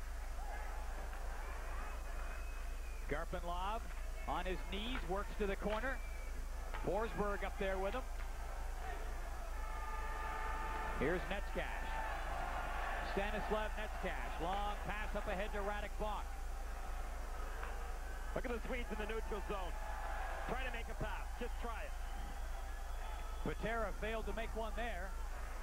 Alfredsson up after the puck. Here's Garpenlov. Back around to Alfredsson. Back for Garpenlov. Alfredsson going towards the front of the net. Garpenlov came out himself and tried to tuck it in.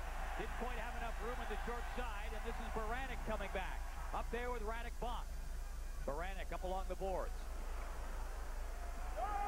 Bonk in there battling away. Beranek was circling in the corner as well, but the rush broken up. And both teams will seize the opportunity to make a couple of changes. Kaberle throws it up ahead to Reichel. Reichel gets it in over the blue line. Rucinsky trying to get that shot on goal. Rucinsky in the corner. He's knocked down. A penalty coming up against Sweden. And when we come back, the Czech Republic will crank it up on the power play with 8.24 to go in the second.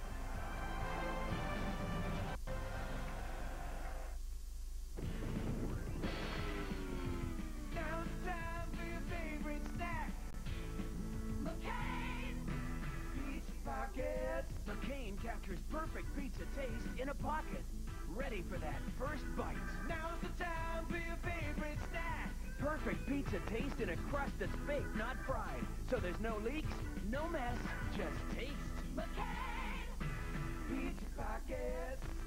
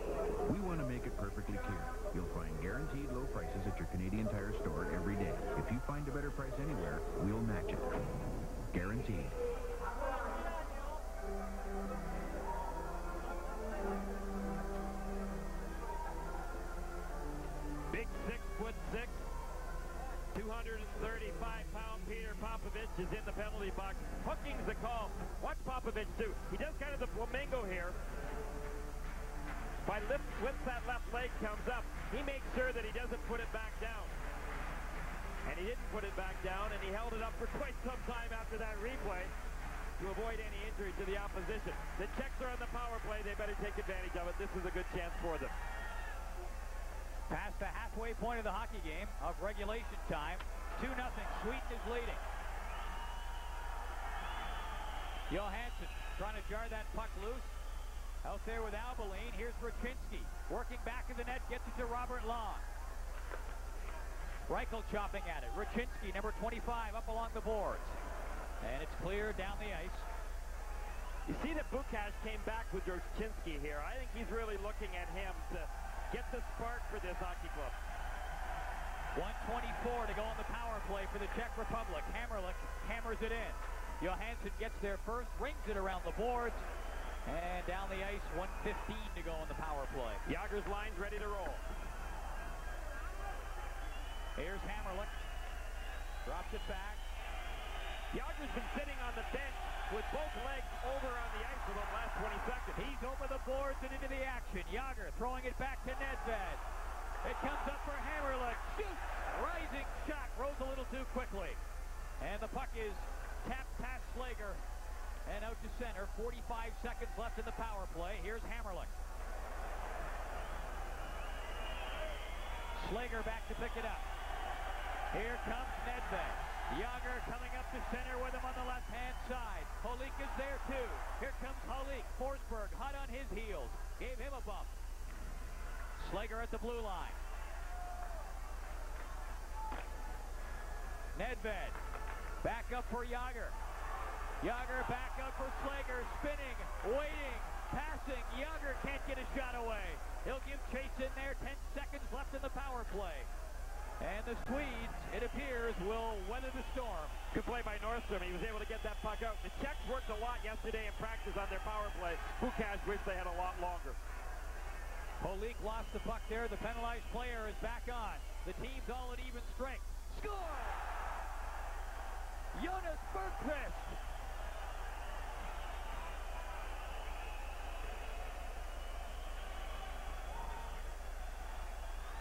Jonas Bergqvist put Sweden up by a score of three to nothing with a heartbreaking goal for the Czechs. Bergqvist really played well in game number one. Great spark, but watch this. This is just a killer for the Czechs. Bergqvist picked the short side, and he picked it perfectly. Watch, he's got his head up. He had to fight to get possession of that puck. He threaded the needle right between the legs of Roman Hamrlik, who was backing in, and watch Turek. He didn't have a lot of room, that is Bergqvist, to find that spot. But short side he did. And that was not a good one on Turek. In terms of games played internationally, Bergqvist is the veteran on this Swedish team, and he gets a big goal right there, coming right on the heels of a Czech power play. The Czechs fail to score, can't turn the momentum around, and then the Swedes give themselves just a little bit more with that goal. Jonas Bergqvist getting it at 13:44. And it is 3-0 for the Three Crowns. Kaberle in over the blue line for the Czech Republic. Up around back of the net, Patera gets it back along the boards for Vejvoda. Vejvoda and Patera trying to work it around. Prochazka out there as well.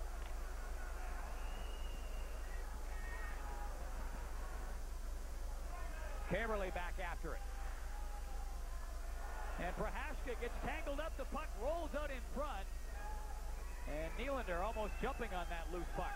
Here's Tommy Albelin with it for Sweden. 5.08 to play in the period. We are in period number two, and Sweden is leading 3-0. Beranek trying to go for the front of the net. Dahlen throws that ahead. Necas. Across for Sykora. Nylander chopped it away from him.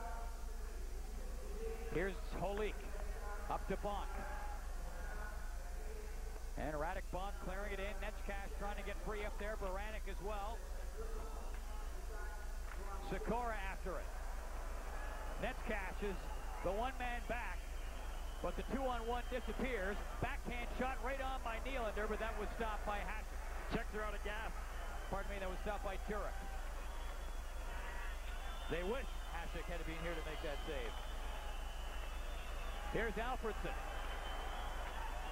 Alfredsson back up and into the play. He was tied up there by Bonk and not able to get the shot away. Here comes Beranek. Winding in over the blue line. Has Bonk going for the net. Beranek shoots. Soderstrom stop that. And the rebound cleared out. Great back checking by Alfredsson. Forsberg up after it. He bumped into Turek.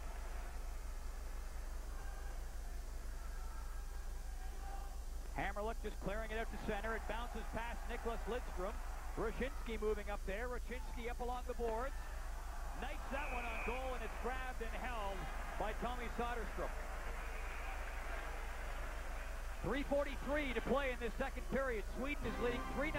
You're watching the World Cup of Hockey.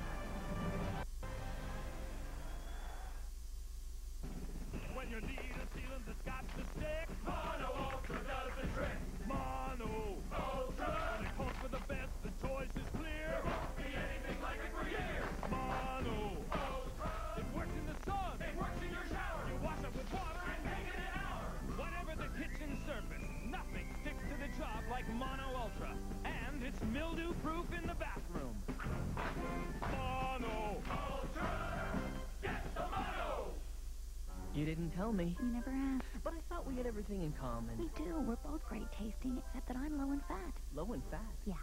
You say it like it's no big deal. Kellogg's Rice Krispie Squares have always been low in fat. Hey, now you know. Who'd have guessed? The 12th round of the 1996 Formula One World Championship revs up at the Circuito Monza. Don't miss the roar of the engines at the Italian Grand Prix live Sunday, September 8th. Formula One excitement on TSN. Jonas Bergqvist, the latest goal scorer for Sweden. He got it at 13.44. I mentioned him being a veteran. He's one of only 11 players with 200 or more games with the national team. And in case you were wondering, if you're a fan of Swedish hockey trivia, the all-time games played leader for the national team is Thomas Rundqvist, who was actually at one time property of the Montreal Canadiens. And is now playing in Austria along with Ben Gustafsson. Here's Rucinsky. Gets it back to the blue line. Pounded in there by Sykora, but couldn't hit the mark. Rucinsky up after it. Lang trying to chase it down. Andersson clearing it out at center. Hamrlik intercepting that. Three minutes and 15 seconds to go in the second period. It is 3-0 Sweden leading.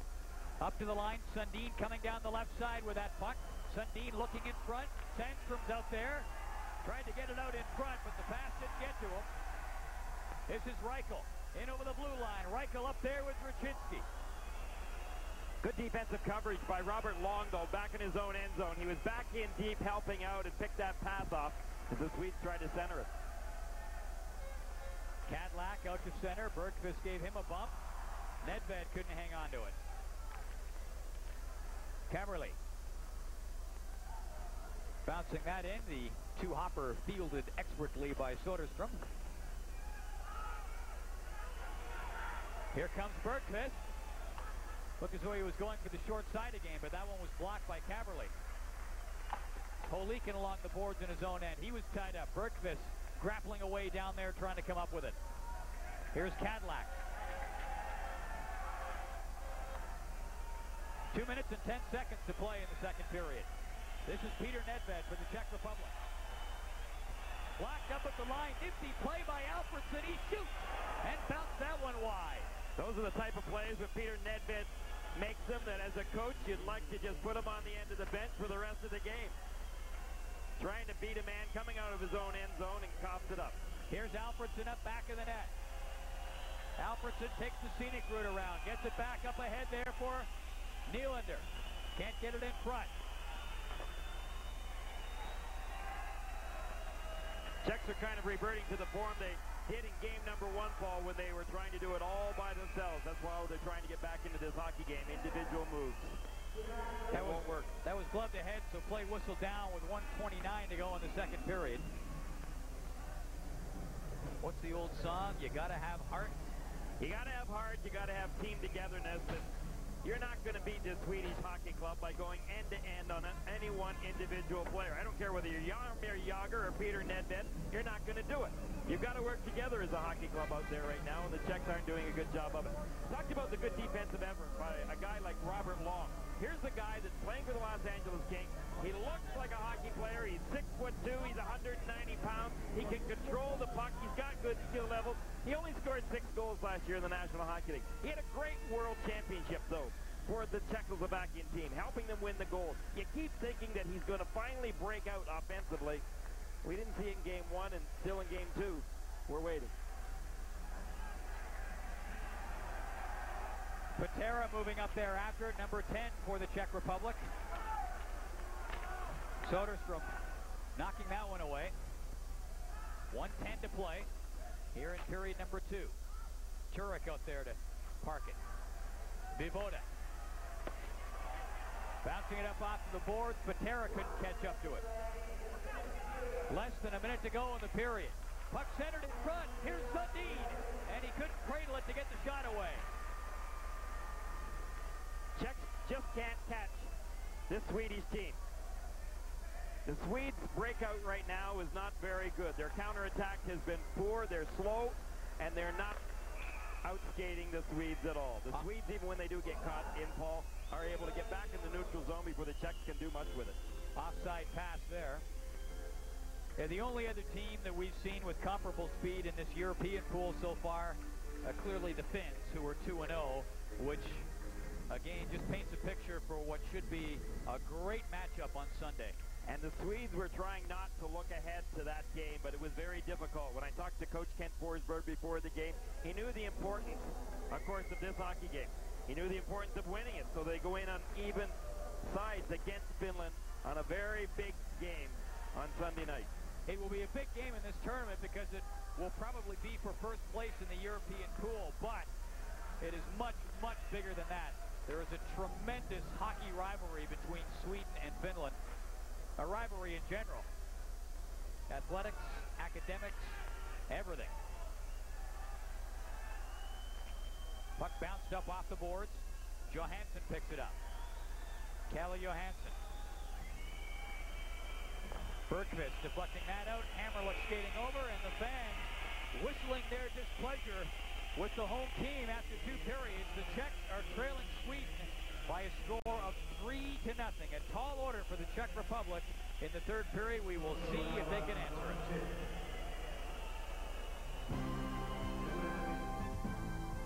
World Cup of Hockey live at the intermission is brought to you by Pepsi Stuff. People who drink it, get it. Ends October 31st. Well, it is true. In fact, the Czech Republic has shown a little more heart and a little more intensity, but they just can't seem to penetrate the Swedish defense. No, they're having a tough time. They're losing all the one-on-one -on -one battles. You know, I, was looking at that period, and both goals that were scored by Sweden, maybe I could say Roman Turek should have had one or the other, or maybe both. And yet, it's too easy to go ahead and blame a goaltender in that situation, especially a young goaltender like Turek, who's going to go and join the Dallas Stars this year. If you saw the power play that the Czechs had with about eight minutes to go in the period, Uh, there was about five one-on-one -on -one battles down low, and they've got an outman situation, and I counted every single time the Swedes won the battle. And then all of a sudden, two Swedes collapsed down low onto a puck, took it away from a Czech guy in the corner, and fired the puck down the ice. That's supposed to be a power play. It's supposed to be the Czechs that have two men on the puck, and it was the other way around. So you can clearly see that in the one-on-one -on -one battles, in terms of the heart, the desire, uh, just the physical superiority, the Swedes have it all over the Czechs in this game. They're playing on an international ice surface in front of the hometown crowd. We thought Jaromir Jagr would be out there dangling. Such has not been the case. It's really difficult to understand what the problem is, whether it's a lack of preparation time, a lack of cohesion. Uh, but obviously, all is not well with this Czech hockey team. But they have shown a lot more spark and a lot more effort. But the, as Gary pointed out, their conditioning doesn't seem to be as good. Their strength doesn't seem to be as good. And they're just uh, outclassed in this game against a, a, very good, solid Swedish team. Boy, isn't that the truth? And as soon as they uh, missed their opportunity in the power play, Jonas Bergqvist scores, makes it three to nothing. Uh, Sweden definitely in control. We'll take a break. We're back with more in a moment.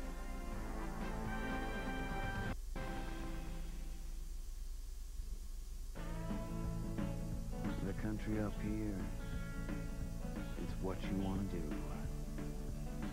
You can't fake your freedom. And you know you can't fake smooth. Well, I'm going up the country, baby, don't you want to go? Yes, I'm going up the country, baby, don't you want to go?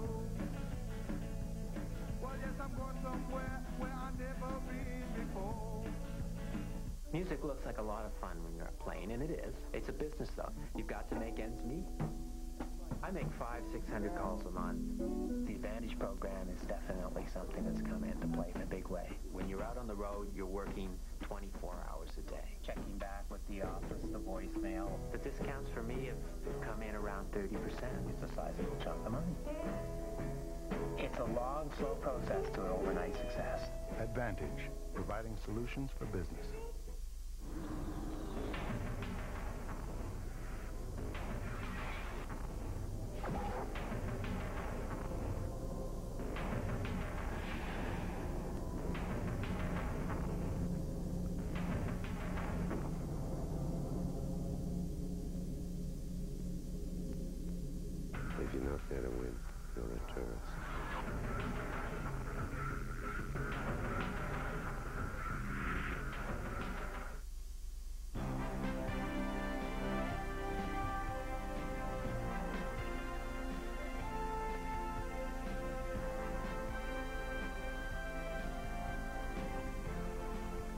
Joining us now from Vancouver is Team Canada defenseman Ed Jovanovski. And Ed, the first question I wanted to ask you was, you were named as an alternate to this team. All of a sudden, Al MacInnis goes down due to injury. Is that when it hit you you'd be playing against the world's best?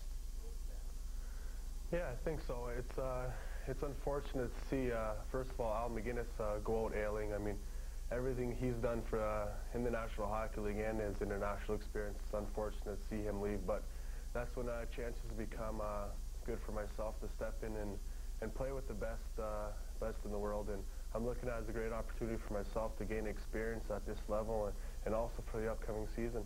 And it's Bob McKenzie. You handed out a couple of thundering checks against the Russians in that pre-tournament game. Has Glenn Sather told you to be as physically as possible in this tournament? No, I think I, I know that myself. I mean, that's uh, part of my game that I can't let slip away. And, and I, uh, I play uh, my best hockey when I'm playing physical. So it's something that I got to keep on doing and uh, not let slip away. But he, uh, he mentioned it, and he said, uh, don't go looking for it. When it's there, uh, take the hit, but uh, don't go looking for it. Eddie, you've got limited international experience, but you did play in the 1995 World Junior Championship. How much did that help you? Well, uh, playing at that level, I mean, uh, obviously it's not as quick as this, uh, but uh, it, it made me get the feel of it anyway. But uh, playing with all the, the best players, I mean, you always have to pick up your game a few notches, and you know, it's it's going to be great for myself playing against all these players, and you know, I'm really looking forward to it. Ed, a lot of people have said that Canada's blue line is perhaps their Achilles heel. Do you agree with that assessment, or do you think that's being overly harsh? Well, there, there's a lot of talk about our defense, uh, but it's, uh, I mean, the players in the dressing room know how our how our D can play, and, and that's all. I think that's all that matters, and you know, uh, it's it's gonna it's gonna show on the ice how we play. Thanks very much, Ed, and good luck the rest of the way. Thank you. Pleasure talking to you. Canada and Russia tonight. Love the way Ed Jovanovski plays the game. Love the way Joe Sakic plays the game. One exhibition match, it was a 4-4 draw in Calgary, and we saw a lot of intensity in that hockey game. Uh, it will be very, very intense tonight. Now, both teams had to declare their 26-man rosters yesterday. Russia did the same as Canada. Russia, though, without Pavel Bure. Yeah, at first they thought with that bruised kidney that he was going to be able to come back and maybe play in some of the playoff games, a semifinal or a final, but uh, they got the word that he couldn't do that. So they stroked him off their lineup, put Valery Zelepukin of the New Jersey Devils onto their lineup. And contrary to popular belief, this does not destroy or break up the number one line, offensive line, for the Russian team because Bure had not been playing with Sergei Fedorov and Alexander Mogilny. In fact, Sergei Nemchinov had been playing a lot on the left side with those guys. So it won't break up that unit, but uh, nevertheless, Lee still leaves a hole in the Russian lineup. Yeah, it does leave somewhat of a small hole, but like our Canadian forwards, they have a lot of depth. The Russians have a lot of depth up front. They're still very, very talented. All extremely talented. Uh, you know, Alexei Yashin, a number of other players that come along, uh, they can really do the job. Now, the, the, forward lines, we're probably guessing here just a little bit. We do know that Nemchinov is playing with Fedorov and Mogilny. Uh, Yashin on the left side with Larionov and Kozlov is something they tried. I'm not so sure that they'll do that, but that is an option for them. If they don't play Yashin on the left side with Larionov and Kozlov, Kovalenko could move up, play the right side, and Kozlov, number 13, could move over onto the left side. Uh, that would allow them to put Zhamnov and Yashin back as their centers. But Nikolishin is a guy to keep an eye on in this tournament. A good young player from the Hartford Whalers that's really underrated. And Kovalenko is also getting a lot of ice time in a lot of different situations. Valeri Bure, Berezin may be the extra guys in a number of situations. And uh, Alexei Kovalev is a guy that can do some damage. We, we talked about Canada's blue line, and uh, I don't know if it's being harshly criticized. What about Russia's blue line? Well, this is a very dynamic offensive group. As you go down the list, Sergei Zubov, Darius Kasparaitis, Vladimir Malakhov, Oleg Verdovsky, uh, Sergei Gonchar, Dmitry Yushkevich, Alexei Zhitnik. All six of those guys, or seven of them, can rush the puck, can jump in, have good shots from the point, so it's a very dangerous offensive unit. Karpovtsev and Fetisov are more of the stay-at-home types. But also, there's no question that the big boys for Canada, Primeau, Lindros, Shanahan, uh, Linden, the list goes on and on, Messier, they can take advantage of this group in front of the net and down low if they get cycling the puck and play that Canadian physical style of game. Well, if the Canadians are in front of the netminders, they're going to have a...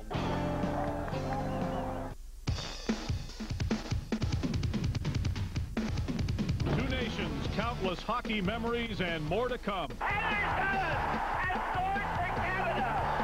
They meet again tonight in Vancouver, and Wayne Gretzky talks about it right here.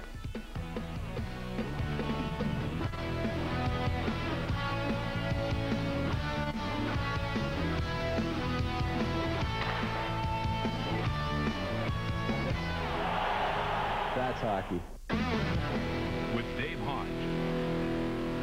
Welcome, World Cup fans. The World Cup is about to add the dimension of games in North America, and what better way to do that than to pit Canada against Russia.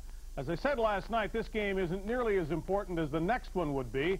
Both teams do figure to survive the opening round, after all, but the tournament will probably take on a certain tone based on what happens tonight at GM Place in Vancouver. A fast start for Canada will remove doubts about this team, managed and coached by Glenn Sather. A slow start will create some. If anyone playing tonight has seen it all before where international hockey is concerned, it is surely Wayne Gretzky, who appeared in four Canada Cups and was the scoring leader each time. Wayne, here you go again, one more time. And after all the other times getting ready for the Russians, uh, any different this time? well, exactly. I mean, we're really pumped up for tonight's game, and all the players are uh, really excited about it. I think that each and every guy has worked very hard um, in the off season and in this training camp to be ready for this this hockey game tonight. Uh, we realize that uh, we're in for a tough game, and uh, we're ready to go. Are there any concerns about your own readiness uh, or the team's? No, not really. We have a pretty uh, pretty good group of guys. We have uh, a veteran team, yet mixed with a lot of young players who are eager to to be successful in this tournament. Um, obviously, there's a little bit of you know first game jitters, so to speak which is only natural, and uh, uh, yet we're, we're ready to go. We feel very positive about our hockey club. The concern of others is that uh, you haven't had enough time to prepare or you've uh, not done enough with the time that was available. Would you change anything about the way you've handled the schedule? No, not really. I, I think that, um, you know, it's a pretty equal uh, situation uh, in this tournament in that all the teams started training around August 12th or 13th. Uh, we've had a little bit of a, a grinding travel schedule, uh, probably trying to help sell the game and promote hockey throughout North America. Um, but all in all, uh, I would say we've worked very hard. Um, Glenn has uh, picked spots to give the guys some days off. Uh, and I think rest at this point in, in people's uh, uh, careers is just as important as the physical fitness side of things. Uh, so we feel we've uh, prepared hard, and we feel we're on equal bounds with every other team. We're ready to play. What about the team you've got versus the team you might have had if all players asked had been willing to participate? Well, you know, obviously when uh, Mario doesn't come because of his situation and probably got the most legitimate reason for not being here, you don't replace Mario Lemieux. He's the best player in the game today. So, you know, that's obviously a uh, a little bit of a blow to our hockey club, to say the least. But then um, the other guys, you know, they've made their decisions not to be here, and a uh, couple injuries. Uh, I, I will say that, you know, Al MacInnis is a very underrated player, and I've had an opportunity to play in two tournaments here with him, and I've played a little bit with him in the league. Uh, you don't replace a guy like an Al MacInnis, but I think Jovanovski has stepped in and done a fine job for our hockey team, and he's going to be a great player. So um, we're, we're happy with the guys we have. Uh, we had a guy like Vincent Damphousse because of injuries and Graves because of injuries. Both those guys look right in place and uh, feel we feel that they're both going to contribute a big part uh, to this hockey team's success. So we're we're uh, we're happy with our team. Uh, you can't look at uh, the negatives of, of, players who didn't show up. Uh, we have to uh, be positive and be happy with the team we have. Were you involved in trying to get Ray Bourque to come? I did talk to him once. the players asked me if I would call him, um, and I, I did give him a call you know, he's made his decision not to be here, and, and that's fine. I mean, nobody has to come to this. That's their own decision. Uh, as players, we just feel that this is a tremendous experience, and we feel that, uh, you know, get a chance to play your country is something that uh, is a great honor. Did you at any time consider not playing? Not at all. Um, you know, each and every day I would wake up and uh, early in the morning in California and head to work out with my wife and, and the trainer each and every morning, and I was skating two or three times a week in July. So, I mean, my focus was on this tournament, and, and for me, I'm thrilled to be here one more time. Uh, probably, and I'm sure it is my last time to, to play in this kind of a tournament. So to get a chance to play with guys like, uh, you know, Lindros and, and uh, you know, guys like Martin Brodeur and players of that nature, it's to me, it's a thrill and an honor. And I, uh, as I said many times, I feel privileged to be here.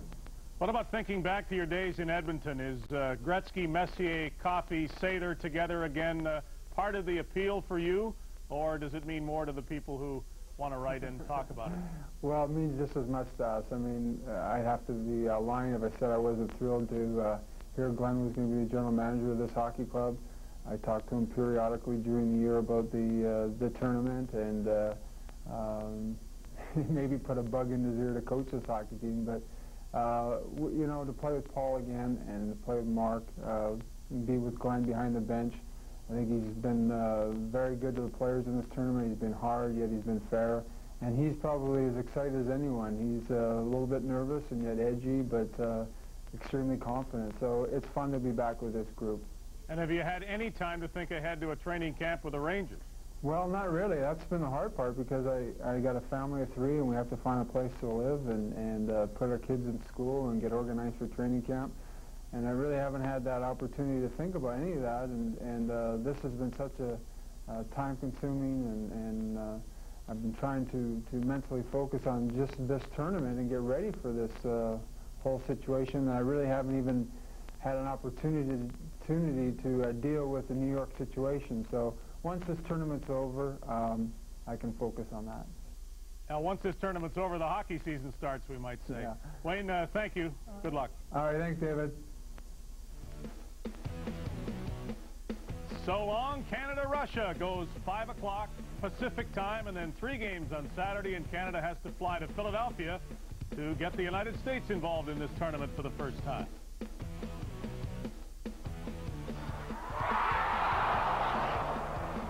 Keeping an eye on other NHL developments today, Vancouver was officially awarded the 1998 NHL All-Star Game. A lot of players on the ice tonight will be there for that. And it seemed like this took three years, but Marc Crawford, the coach of the Stanley Cup winning Colorado Avalanche, has signed a new deal there for three years. Up next, World Cup action from Europe today. Another win for Sweden.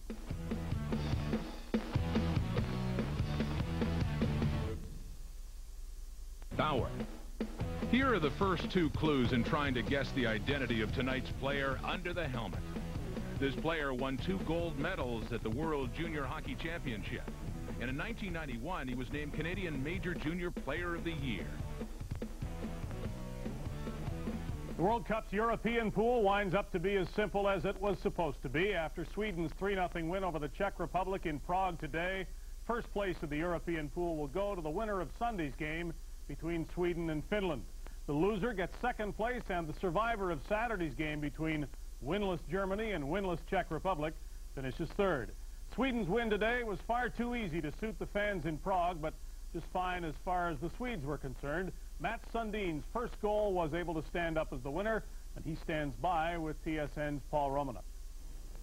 Uh, thanks, Dave. With the uh, much uh, taller Mats Sundin, uh, tall expectations for this team heading into the tournament, and so far you're meeting them. Uh, I mean, you look like a well-oiled machine out there. Yeah, we came out uh, today. We were a little scared of this game.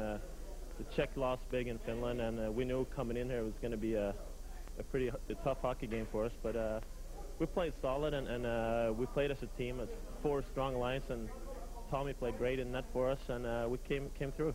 Yeah, how much concern was there? Uh, you lost Tommy Salo, had to go back to Stockholm to be checked out. Uh, did you talk a lot about the goaltending situation heading in? I know you have a lot of confidence in Tommy Soderstrom, but still, you must have thought about it. Obviously, we didn't find find out until uh, this uh, morning, and uh, I think everybody was feeling pretty confident anyway. We know uh, Tommy and Tommy are, are, buddies in from New York, and they play together, and uh, we know that uh, Soderstrom can step in anytime and, and play a great game, just like he did tonight. Matt, uh, for you, uh, I think probably your best game of the tournament so far of the two. Uh, you look to be in great shape. How hard did you train uh, looking ahead to this tournament? Where have you been working on it all summer? Well, I've been. I think I'm a little stronger. Uh, I've been gaining a little bit of weight. Uh, I've been putting on a few pounds, and I've been working out hard. I'm looking forward to this season. It's, it's a big year for me, and and, uh, you know, this has been a good start so far. Yeah, that's what I'm wondering, if you're looking ahead to the season and thinking in terms of this being a really good starting point for you. Absolutely. The, the World Cup uh, feels like a, a, good springboard to jump into the new season. And obviously, uh, the way it ended last year with the Leafs, uh, this year is, is uh, hopefully it's going to be a lot better. So uh, I'm really seeing the whole tournament as, as a big springboard for the next year. We're all looking forward, hockey fans are, to that game on Sunday against Finland. Try as best you can to explain to, uh, to a North American the intensity of the rivalry with Finland. Why is it so intense? You know, it's, it's tough. Uh, the only, the best way I can explain it is uh, if uh, uh, a French-Canadian team meeting an English English team or a team from Ontario in a in a huge final. Uh, that's probably the best way to, to explain it. It's a I mean, Finland coming in now to Stockholm and, and coming to they beat they won the world championship in there the other the other year, and uh, we definitely do not want to lose against the Finns in, in Stockholm. Matt, uh, good luck. Thank you very much. Mats Sundin of uh, the victorious Swedish team. Sweden will play for first place in the European pool of the game coming up against Finland on Sunday. Let's head back now to Dave Hodge, and that's hockey. Thank you, Paul. Once a week on That's Hockey, we'll ask a question and uh, bring you the best of the answers we get from any and all parts of the hockey world. After much discussion yesterday and today with uh, Wayne Gretzky about who's playing and who's not playing, this week's question is, why did you decide to play in the World Cup, and did you ever consider not playing?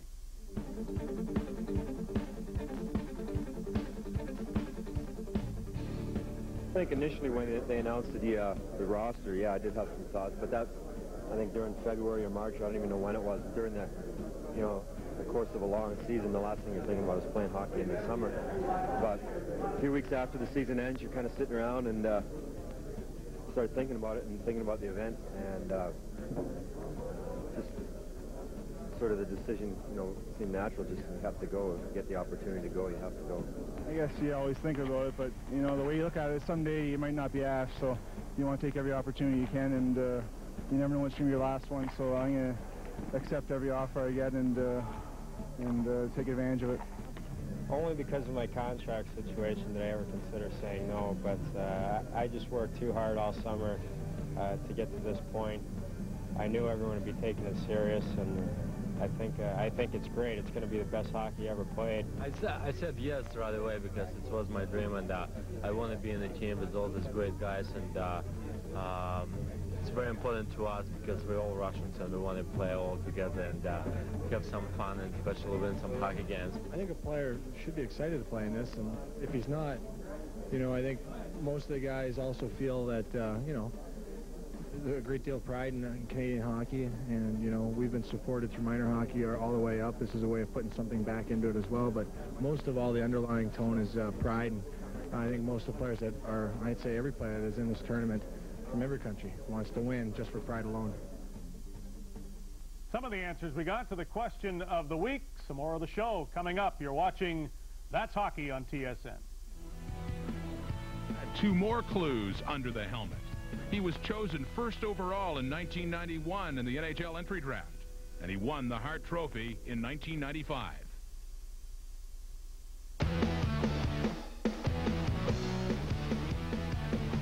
That's hockey. With one eye on the World Cup, we continue to use the other eye to look at NHL happenings. Tonight, the summertime events in the Northeast Division and how they affect a group dominated last season by Pittsburgh. There's no secret as to the strength of the Pittsburgh Penguins. They can score, and they score in bunches. Lemieux, Jagr, Francis. The 362 Penguin goals last season were three dozen more than their nearest rival. The trouble is, they can't keep the puck out of their own net. Only six teams, just six, allowed more goals than Pittsburgh did last year. So with that in mind, power play specialist Sergei Zubov was shipped off to Dallas in exchange for the much bigger and tougher blue liner Kevin Hatcher. None of this matters, though, until number 66 decides whether or not he will return to Pittsburgh for another year. It must have been a long summer for the Montreal Canadiens. One season after missing the playoffs entirely, they blew a 2-0 first-round series against the Rangers with four straight losses, three of them in their brand-new Molson Center. However, general manager Réjean Houle hasn't pressed the panic button. The Canadiens have made just one significant move during the offseason, reacquiring former 50-goal scorer Stéphane Richer in exchange for Lyle Odelein. With Richer, Pierre Turgeon, and Vince Damphousse together, could a new French connection line now be in the offing? The big question in Boston is can he or can't he? Cam Neely's health, as it seems to be every year at this time, is front and center in Beantowners' minds. Despite another season full of problems with his legs, Neely still potted 26 goals in just 49 games a year ago. The Bruins have tried to add some grit up front in the event that Neely is incapacitated. Troy Mallette, Sheldon Kennedy, Jeff Odgers are all muckers who can score the occasional goal as well. Odgers came over in a deal that sent Al Iafrate packing to San Jose. Two key losses for the Bruins are Shawn McEachern and penalty-killing specialist Dave Reid. They combined for 47 goals a year ago. The only significant changes to the Buffalo Sabres, their arena and their uniforms. The new Marine Midland Center should be a welcome sight for the Sabres and their fans alike, as should the very marketable red and black jerseys. Buffalo management must have been smiling when goaltender Dominik Hasek opted out of the World Cup in favor of a couple of weeks of rest. The Sabres will once again live and die with the Dominator. No significant moves in Hartford, and no move out of Hartford either. As usual, there was talk that the Whalers could soon be leaving Connecticut, but the team is still there, and for the time being at least. And it's very much the same team that finished 10th in the conference a year ago. The young Whalers will still only go as far as Brendan Shanahan takes them.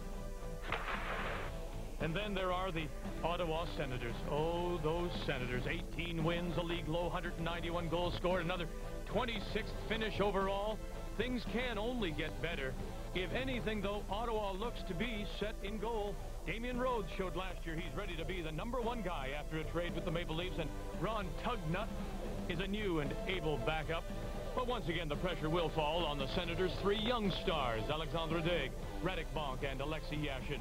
They will be the key factors as Ottawa tries to climb out of the eastern basement. So it looks like the Canadiens may have what it takes to succeed in the Northeast. But those Penguins, you never know, they still may have 66 ways to try and stop it.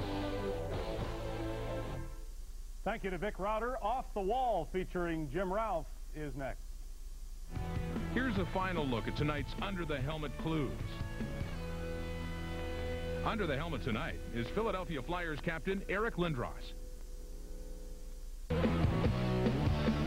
Contract negotiations were a bit of a snake for me as well. I guess after my last year junior hockey, I was a little overconfident. I went into Bob Pulford's office as general manager, general manager in Chicago, and I said, Mr. Pulford, in all honesty, I, I think you should be paying me what you're paying Tony Esposito.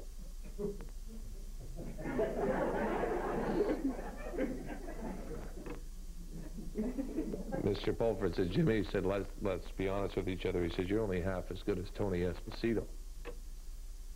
Fortunately, I stood up and held out my hand and said, Mr. Pulford, you've got yourself a deal. Pay me half of what you pay Tony Esposito. Jim Ralph, speaking of uh, dealing with the bosses, uh, Glenn Sather comes to that uncomfortable point tonight where he has to tell some players that uh, they won't be needed. They won't, and big, big name players who aren't accustomed to sitting in the press box. Were you ever told uh, you would not be playing? Yeah, well, you know, Dave, yeah, the last two or three years were probably like that. Actually, the, the last uh, two years when I uh, I had sort of retired out of Chicago for a year. Uh, and then when I finally got in, in touch with them the next summer to tell them, uh, I ended up signing with Toronto. They said, come back, you'll be our third goaltender in the minors. I ended up uh, uh, doing the radio in the press box. And uh, so I don't think there's any shame in it at all. And I was, you know, not making quite four million a year to do it, but uh, 27.5, uh, the first wife's very happy. Did they usually say that you were injured, though, so, so or, or did they want it made very clear that you were healthy and they didn't want to use you? No, they said, uh, you know, at the time, Jeff Reese and Timmy Bernhardt were the goaltenders, and they said, look, if uh, somebody slips into a coma, you, you know, get the stuff on.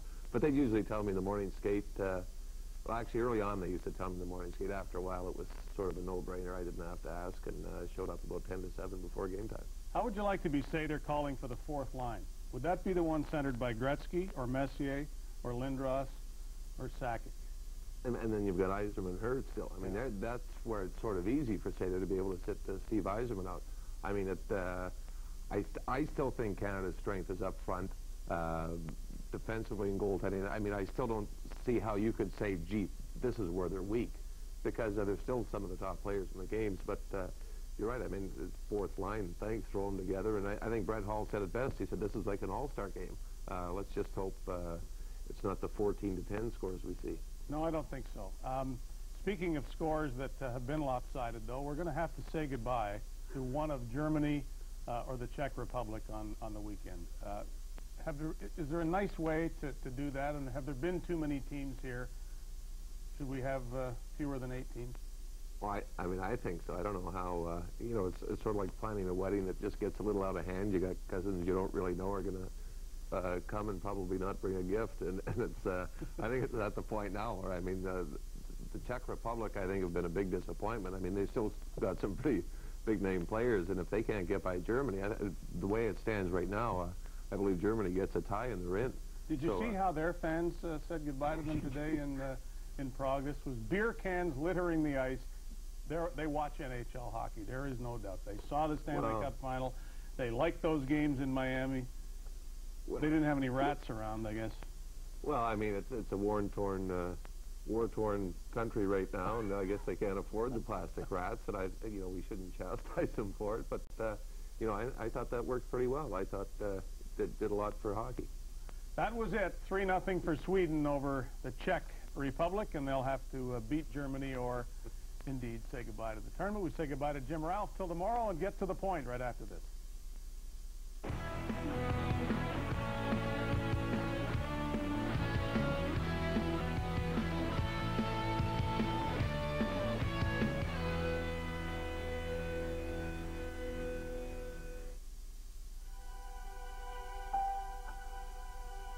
Give you a clean sheet, what will you write?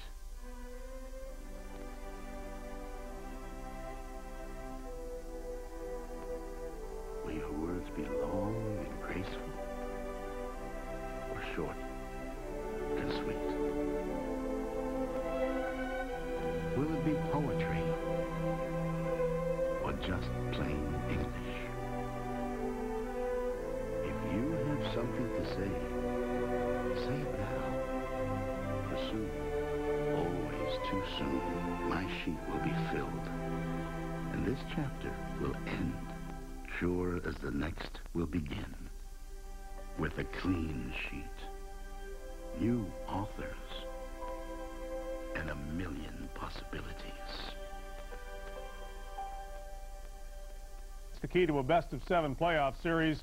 It's even more important when one loss beyond the first round can spell the end. And this is a tournament that gives Canada the edge up front, the United States the edge on defense, and uh, Russia perhaps in the area of explosiveness. There is no perceived advantage in goal, though.